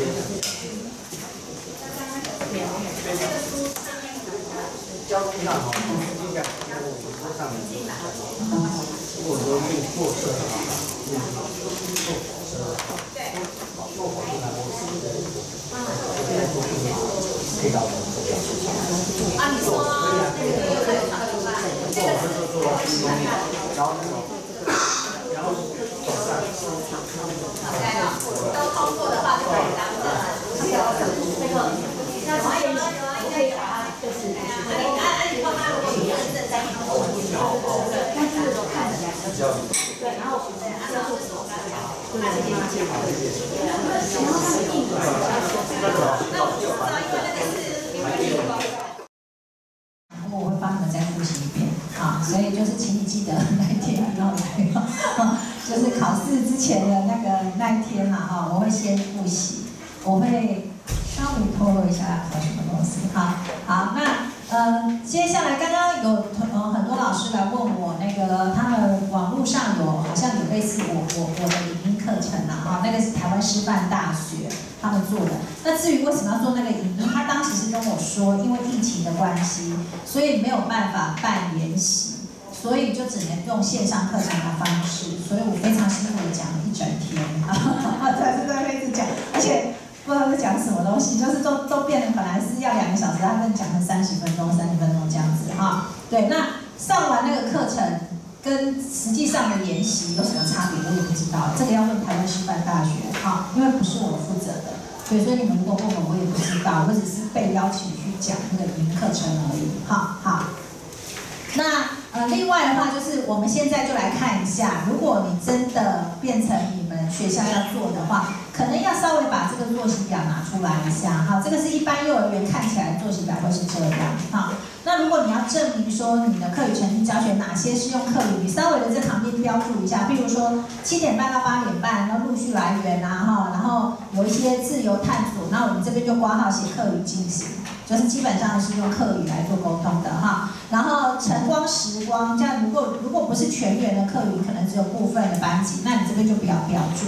然后像他这个，像刚刚有新传师的老师说，他会一个礼拜进去两次，两个小时。那他这边就会比较明确的标出课的主题教学，课的主题教学，他这边也是标两天啊，然后几点到几点啊？基本上两个小时我是觉得有点久呢，啊，那基本上小孩子的专注力大概三十到四十分钟，所以三十分钟之后结束之后，可能我觉得会比较建议就变到学习区，就像我刚刚给大家看到那个学习区的活动，让小朋友自由的去玩耍探索这样。好，那点心时间你可以看到，他这边也全部都是用课语。好，然后这边其实延伸活动，诶，小组跟个别活动，有的就会用课语，然后午睡、午餐也是用课语，然后才艺课程，它这边是因为是私幼，所以它有才艺课程，这边当然是没有办法，因为每个老师没办法用课语，对，然后点心时间用课语，故事时间、放学时间用课语，你看，那这样加在起来就五十趴了嘛，对不对？所以其实最重要的是日常生活嘛，哈，所以下次要申请课语成绩教学的时候，建议把你们的作息表。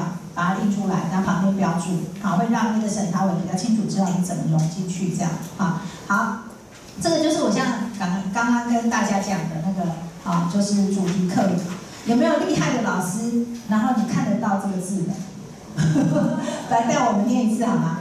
哎，哎，放大哈，哎哎对，哦，老师好厉害，我我都已经有老花，我看不是很清楚，哎，好来来。老师，哪一个看得到的？啊对，课本有，好来，老师，好老师来，有没有自愿要带我们念一次的？第第几页？第九第几页？好，二十页。好，来，有没有老师要帮你们带一次的？好啦，那老师来，好来，来。啊，那个标音就不要看哈，那标音是我们男生写的。各位老师好。咱系讲回落来，所以咱排回落来哈，有没有声音呢？有。嗯，排架左二，嗯，小朋友。哎，他念一次，你们念一次。哦。哎，只是你们的音都是一样的吗？不一样。不一样，对啊，因为一样。那海陆，那就两种，好不好？海陆先念海陆哈，嗯海大走啊。排架左二。排架左二。排架左二。小朋友们好。小朋友好。小朋友好。小朋友好。排架五二。排架五二。排架五二。排架五我们在会讲，我们你们还有什么其他说法？哦。那就好。动九好，下九好。对对，就用你动九了，下九好好。嗯，排架好。排架好。动九好。动九好。下九好。下九好。嗯，你好吗？你好嗎？你好嗎？你好啊，誒，你見唔見感覺樣板？你見唔見感覺樣板？没有一点拗口，好像不太顺。来，讲一个平常讲，平常讲。你見唔見感覺樣板？你見唔見感覺樣板？嗯，你見唔見感覺樣板呢？要送什麼？要要送什麼？心情好嘛？对。啊，你爱心情好嘛？好好好，繼續啊，哈，誒，你見唔見誒誒太大你樣板？大家見唔見你感覺樣板？要送什麼？要看什麼？你係當緊張。好，呃，新梦一，暗紫色，暗紫色。好，感谢你哦。啊，今年，呃，今年要買什麼來嗎？今年買什麼啦？第一年假數，啊，嗯，我講第一年，第一冇年代，第一冇來一年假數。没冇來一年假數，冇來一年假數，哦喲，没来的是举手。我说知道了哈。这个每天早上都会问一下嘛哈。哎太大准皮开始了吗？太大准备要上课了。准备好嘛？哎，爱开始上课咯，哈！啊，大家，呃，該大家好夾嘅哦，較實數的哦，啊，大家好實數的哦，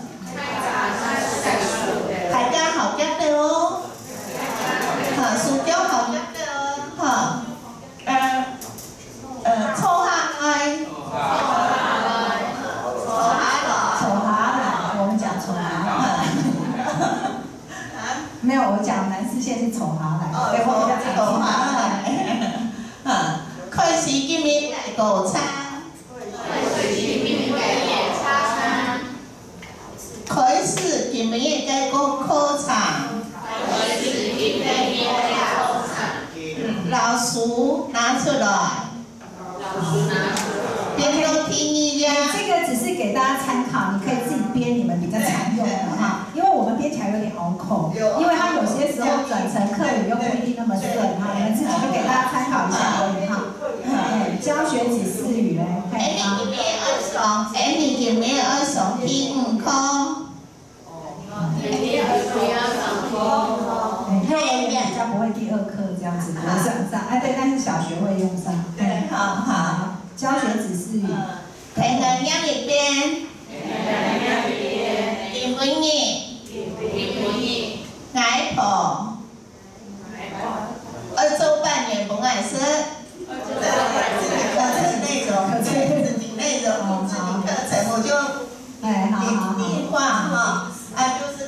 念一遍这个成语对嘛，好。呃，全部共下来，全盘共下来，太一界共下来，太一界共下音一边，呃，二个音一支好无？跟。ngài thấy nhỉ nhang nhỉ ơn nhang à cái này ngài khổ ở trong mặt cái 他没有进入状况来我问你，我他说这边说你来念一句好吗？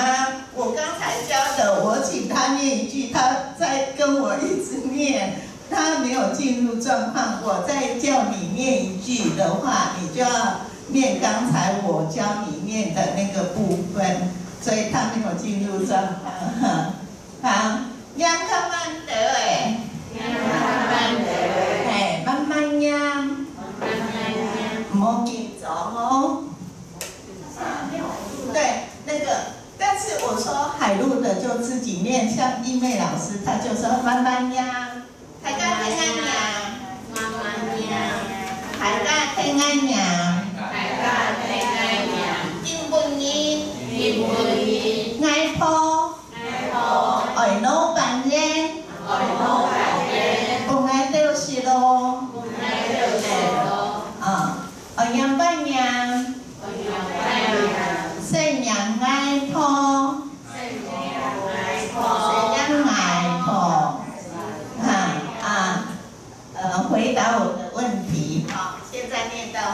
我的问题了。嗯、你爱回答啊，姐妹，爱婆爱做嘛该？啊，我努板油。哦，你刚刚有错吗？错太大，哎，来有跑数？哎，好寒江啊！哈，要讲嘛什么太大，俺外号什么条啊？什么太大，爱只说。俺外号什么？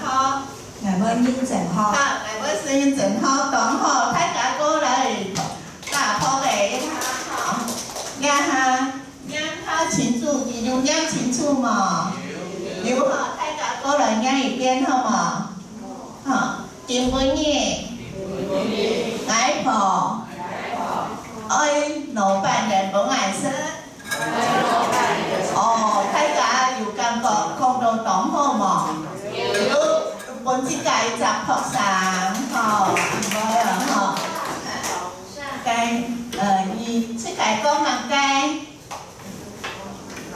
你在说什么你在然后呃呃从来诶面没关系我是讲我是讲饶平的。我讲饶平的。我讲饶平不好意思我我们是说哪妈哦哦龙相恋不安心。哦。哎，饶平是国宝哎，没有几个会讲。所以我们叫他再讲一次。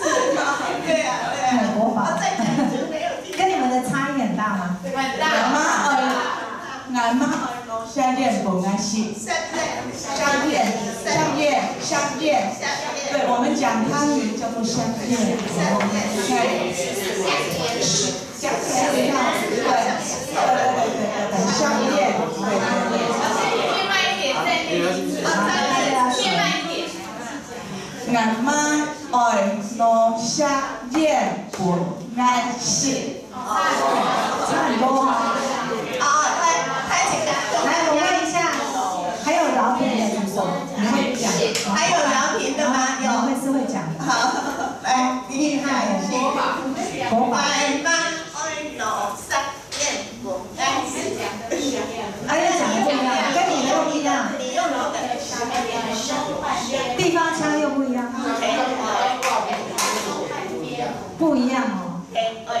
半夜半夜，半夜。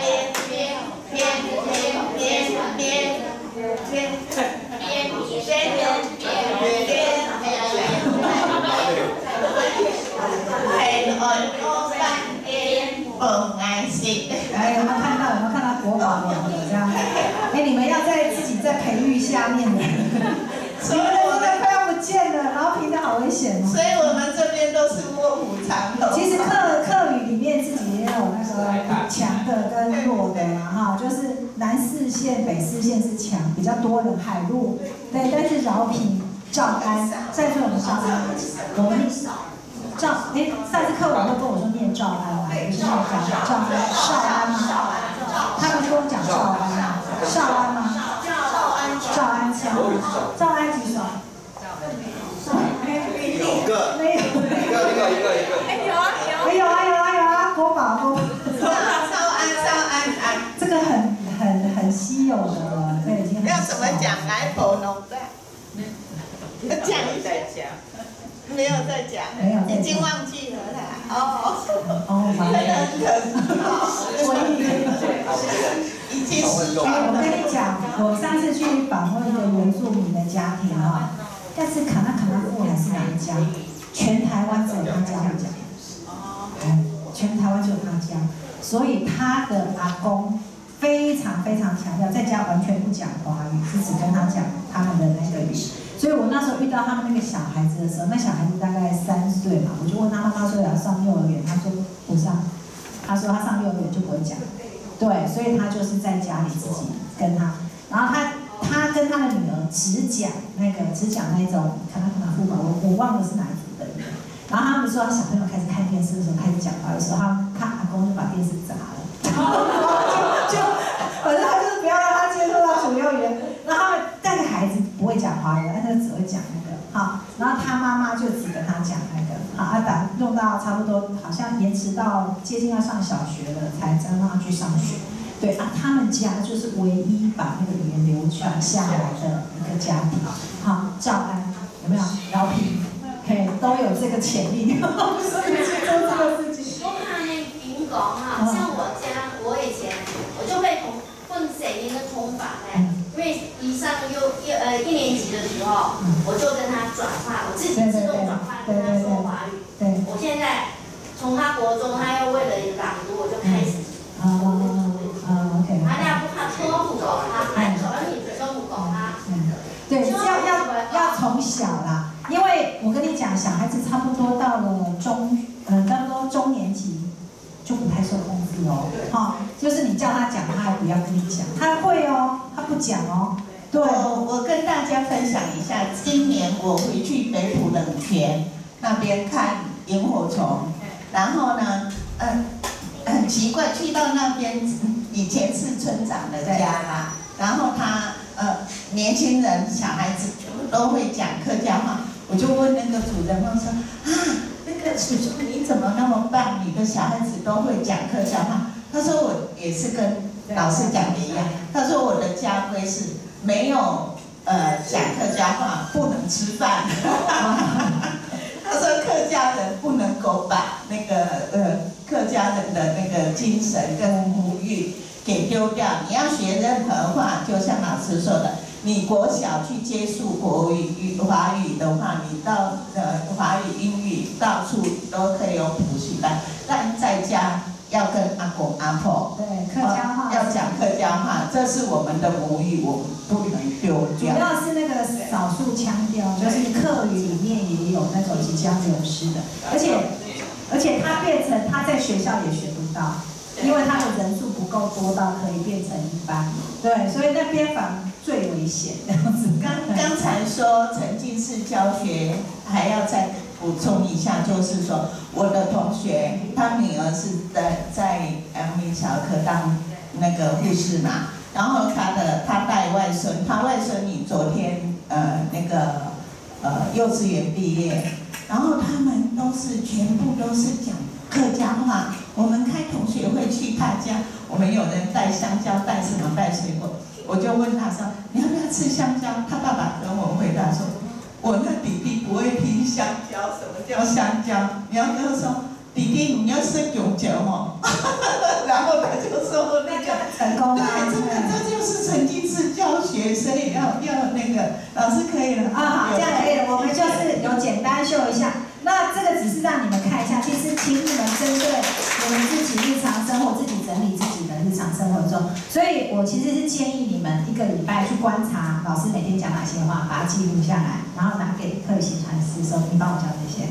好，如果你自己不会讲的话，好就请到克里行传师就教这些就好了。好，先教这些啦，OK。好，那之后再。那刚开始的，请你不要变来变去，就像刚刚你们讲，诶诶，抖掐，谢谢你有很多种讲法吧，好，就不要一直变，刚开始就只用一种，好，等到它熟了再换，啊，不然你变来变去，变来变去，它就语言还有一个诀窍，就是要一直重复，啊，一直重复听到，一直重复听到，它会进到记忆再提取，进到记忆再提取，要提取到一定程度，它才会进入到长期记忆，对，所以你一直变一直变，它其实不会记得很清楚了，好，然后不要讲太难的啦，刚开始不要很长，你可以看到这几个都是短的，简短的，好，就是尽量简短，对小孩子来说，好，好，呃，我我是想要让你们试看看，你们可不可以编一个，就是说一个主题，然后在编这个主题的时候，我刚刚讲，其实最重要是日常生活。那除了日常生活之外，我们不是会有那个课余主题？像你们新传师进去的时候，你们都会上一堂课嘛，哈。那一堂课哈，其实你们必须先用一些套语的方式进去上，哈，因为现在的孩子是连基本的课余能力都没有了，是基本的都没有，哈。那所以你们要上一些，就是说它可以我重复、重复、重复，就是类似相关、相相关的套句，它可以套用各种不同的那个，然后把套句变成一段一段对话，好。所以以水果上面来说好了，好，你们你们先想水果它平常会讲到什么话？先讲水果好了，好，水果它平常在日常生活中会想会会用到的对话大概是什么？自己想一下，孩子小。啊，司马干水果，啊，还有嘞，啊，我最我最喜欢吃，还有什么？颜色，颜色，啊，颜色数量都可以，啊，然后就把它编成四个，啊，那我们现在是不是可以让你们分组一下，哈？你们大概六个，六个一组，好不好？你们自己找六个，六个一组，哈？你们可不可以帮我们讨论一个主题？然后呢，想五到八个单字，你觉得是你知道那个主题，比如说水果。啊，阿兰记了一件事情哈，不要先教那个小孩子都不会认得的水果，先教大类目才有小类目，什么意思？菜是不是就有很多种菜？啊，小孩子是先会讲菜，才会讲什么什么系列的哈，所以就先教他肉是不是有很多种肉？对，他是会先讲肉，才会再分什么肉什么肉哈，所以就先教大类目。以以晚餐来说，我们就先教。饭、汤、菜、肉，就这样，嘿啊，然后第二周我们再来教肉有什么鸡肉、牛肉什么什么肉，啊菜才有什么高丽菜什么菜什么菜啊，啊菜也有文化意涵在里面啊。北部吃的菜跟南部好像不太一样，对不对？你们北部吃水莲吗？有，现在会有，现在有哈。像我们美农第一次教，一定就教水莲。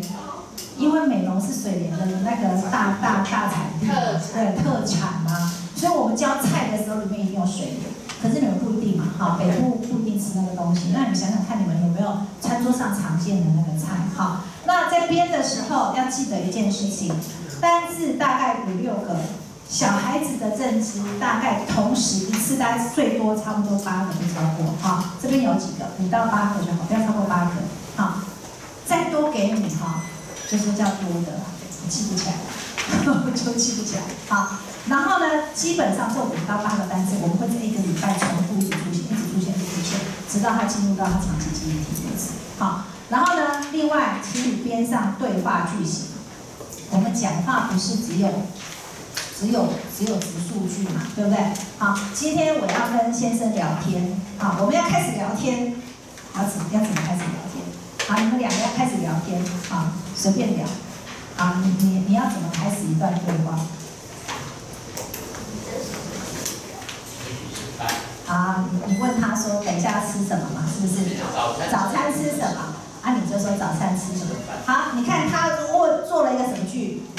问句，对不对？你做了一个答句，所以沟通一定是有问有答的，好，所以不要只编。直述句，就是说我今天吃什么，我今天吃什么，我今天喝什么，它一定是有问有答，而且呢，最好那个问答它是有所谓的，我们在学术界叫沟通的 gap。什么叫沟通的 gap？你今天问他早上吃什么，你知道他早餐吃什么吗？不知道吗？你一定是一个已一个已知一个未知，你不知道你才问嘛？你会不会问他你头在哪里？不会嘛？因为你知道他头就在哪里，对不对？你知道我们有时候编出来的剧情就很好笑，就会问他说，呃，以英文来说常问的 Where is your head？他明明就知道头在那里，你为什么要问人家头在哪里嘛？哈，对，Where is your eye？名师顾问，名师顾问不是一个好的问题。好，所以你在编那个问对答的时候，最好是问那种沟通句，哈，问答句，哈。所以现在请你们六个人一组，你们随便想一个你们想做，最好是符合小孩子日常生活的主题，哈。编五到八个单字，然后问答句一句，好，那个问答句要能够用上那五到八个单字哦，好，譬如说你会问他说，你喜欢吃马该呀，哈，你想吃什么？然后那你就可以编小朋友常见的，因为回到小朋友好不好？回到幼儿园小朋友，他不会跟你说我喜欢吃，你你对他他会他会很少会回答我喜欢吃菠菜，嘛比较少，对对，所以。就是在想孩子的大概他那个他那个层级的上面会用上的大概五到八个单词，然后一问一答，那我们等一下再请课主们来分享，好不好？好，对，那我们现我们给你们就是到下课，好不好？到十一点半，好不好？可以吗？可以，可不可以？啊，可不可以？然后就再回来分享。三桌三桌。三三桌三桌三桌三桌三桌三桌三桌。好，这边这边三桌，后面三桌。这边三桌，后面三桌，啊这边三桌，后面啊老师在跟他们定，好，OK，好，这两个三桌，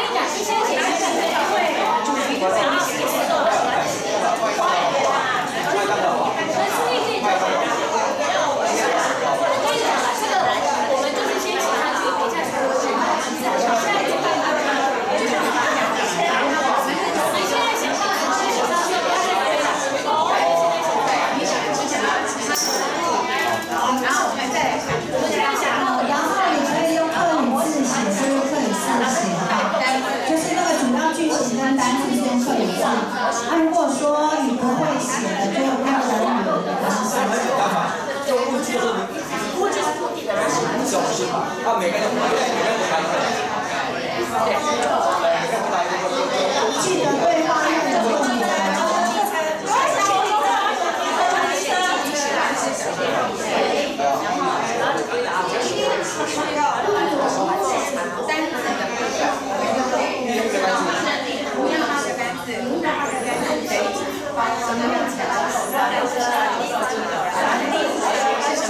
我小的，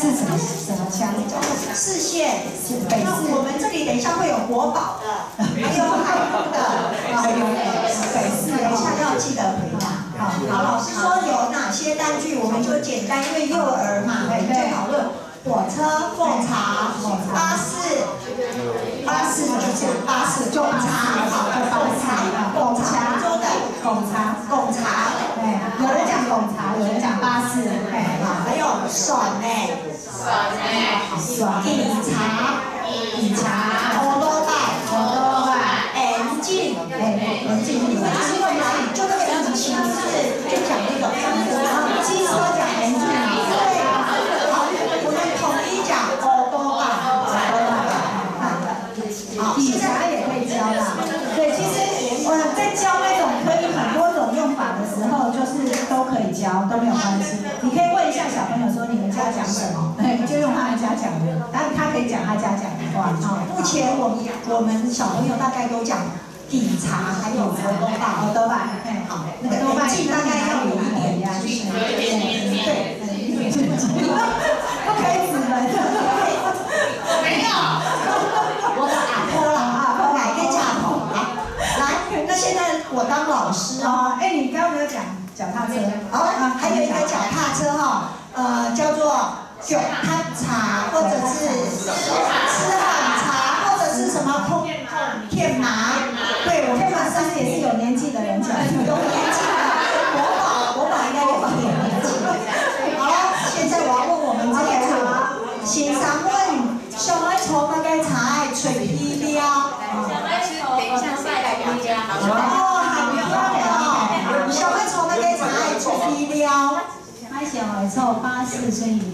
好，刚刚是四线，现在是海陆，现在我要问我们国宝，你上爱炒那个茶的脆皮料。咱上海草布茶出去了，OK，好。最后一位，最后一位，哎，上爱嗯，上爱炒那个茶的脆皮料。上海炒飞机吹气料，哦，现在疫情还暂时趋缓，还做不出哦。吸引，好了，我们第第一组分享，OK，好，谢谢，好好，那妈妈的建议呢，还蛮好的哈，对，呃呃，唯一要补充一点点，就是说先从小朋友日常生活，对，所以。他会比较不会回答到飞机，对。但是有小朋友家里比较有钱的，他还蛮常坐飞机，对。所以他们，所以我刚刚特别看一下你们有没有编那个机车跟自行车进去，因为有的人没有编，但是那是他们最常用的两种交通工具。然后还要注意一下那个动词。坐、搭、骑，OK，所以他刚开始可以在那个动词上面坐、搭、骑，好，因为自行车不是坐，而是骑，对，还还啊，然后机车也是，对对对，所以可以再加动词那边，好啊，不过基本上很棒，好好，谢谢，好，来第二组，大家好，嗯，这边 A 丽良艾丽良说哈感叹。开始，哎，大家好，哎，你俩做做很简单吼，诶，七架上，七架下，三岁四岁，有时咱的成因啦，吼，来片，所以哎，你俩做做片最简单的问成因咧讲，你爱什么？干？吼，你看成因咧对食的东西啊，吼，诶，还有兴趣啊，吼，所以哎，你哈，哎，你你为咩嘿，又快乐的，也系又自然的，咱来唱起讲自然腔吼。转过来，来读读一下，老爷的经常来学习学习啦，哈。来，来请问下，你爱什么改呀？对，青蒿生猪肉，猪肉，你懂爱吃猪肉猪肉啦，哈。小朋友，嘿，对吧？哎，你要读读读，又一张那个小小兵小朋友，来最近做问题，小 baby，你好，你嘴好什么改？比如讲，来，哎，我喜欢吃肉。所以我们就把肉放在第一个。OK，啊，好，诶，应该是再换老师，你来问第二位。OK，好，我们的哎，就多创造小朋友之间。强模拟，好生马该。哎，听不到。好像他有一点方向。对，他有一点有点方向。最好是干妞。哎，干妞。肌肉。你是什么腔？海陆哈，哎，听起来不太像四线，哎，好，四线我听比较好。哎呀，住呃飞机来家，对，谁来耶？家男子啦，男子。小比先生，Q Q 先生，你最好是嘛？先生。哦，先生好哈，你看电视咧青豆西瓜，出都好买青好西瓜。西瓜，西瓜，西瓜，啊，我听得懂。哦，请问啊，两个学生咧，还是恁上赛？嗯，同学，请问恁最好是莫干？哎，好是用价。用价，啊，香蕉嘛，哈，啊，没有那个听得出来。但是有的听不这出来。OK OK。一好是乜嘅？哦。卖个问给他。哎，那最好是高丽菜。高丽菜。哦，好，OK，好。那这个整个句型也很棒哈，就是有对话哈。然后嗯，稍微注意一下，就是说你们是最后思还是后思？最后思跟后思，好像你最好最喜欢吃跟你喜欢吃好像不太一样。对，那注意一下，就刚开始教的时候要一致，哎，不然小孩子会有一点搞，或者会有点错乱。啊，这两个句型有什么不一样？就稍微一致一下，就像我刚刚讲的，稍微一致一下。啊，之后。可以跟小朋友说，最好吃跟好喜欢吃好像不太一样，然后再教另外一个句型也没有问题。好，好来，谢谢。来，我们接下来这一组。大家好，我是第三组噶，我就今日讲的是牛马英吃过牛奶饼。哦，冇食过。哦。呢道啲牛奶饼係用筆做嘅么？唔係吼，我啱啲俾人老師講，誒你食嘅牛奶餅咧係乜嘅做嘅唔啲啊？第一牛奶，第二軟，第三啊用到啪啪嘅面粉，又又搞過嗎？牛奶冰要加面粉哦。牛奶饼。我以为是牛奶饼，为什么加面粉。饼。牛奶饼哈。好，还来面粉。面粉。妈妈煮菜，阿妹煮出来时候用个咸咸个盐。盐。哦，对哈。好，还有哎，奶油哦，奶油，奶油係安尼搭牌啊，安尼個用胖啊夾胖啊，而且 cái cái tể cái như này 油咪係奶油做嘅哦，哈，奶油对吗？奶油哈哈，还有啊湯，湯有醋醋嘅，到讓冇同樣，讓係油油嘅，啊醋醋嘅。怎样？好休息啊？要吃饭？还有汤哈，我们还有水，哈，所以所以哎，你们走出洞口系的，老师欲罢不能。然后这组讲完，我们先吃饭。晚点晚点下课，就等下就晚点下课。对呀，晚一点下课，晚一点下课。我很怕我很快就说完了哈，我再再管掉啊。好了，所以呃，刚汤到水，哎咧。安尼讲走出来的东西是最安全，安尼即个做最安全、最好个牛奶饼。安尼睇即个怎么通做？线上的大人就来做，做得吗？做得。好，刚因为分享还是哎呀，先告单字。嗯，OK，嘿，好。哎，他刚刚教了很多的单字，对不对？好，那因为他现在没有东西，如果他没有东西这样讲，我们。不会讲客家话听不懂，但是如果有东西就听，呃不用翻译哦，他就会把奶油拿起来，然后面粉拿起来，最好还是让小朋友就摸摸看，摸摸看这样子，OK 好，那它的句型可以就是说，呃做牛奶饼要放什么，嘿，他然后小朋友就边做边放，边做边讲这样子，OK 好，那差不多你们好像也差不多五到八个单词，对不对？好，按剧情就是做牛奶饼要放什么。对，然后你要放什么，这样就 OK 了。OK，好好，那也很很棒哈，就是整个编的也很好。那因为他们一直提醒我们要吃饭了，就是我们就是十分了，所以也等到十二点四十再回来，是不是这样？对哈，好像一个小时。对，啊，其他组我们就下午再来分享，好不好？好，好，先吃饭。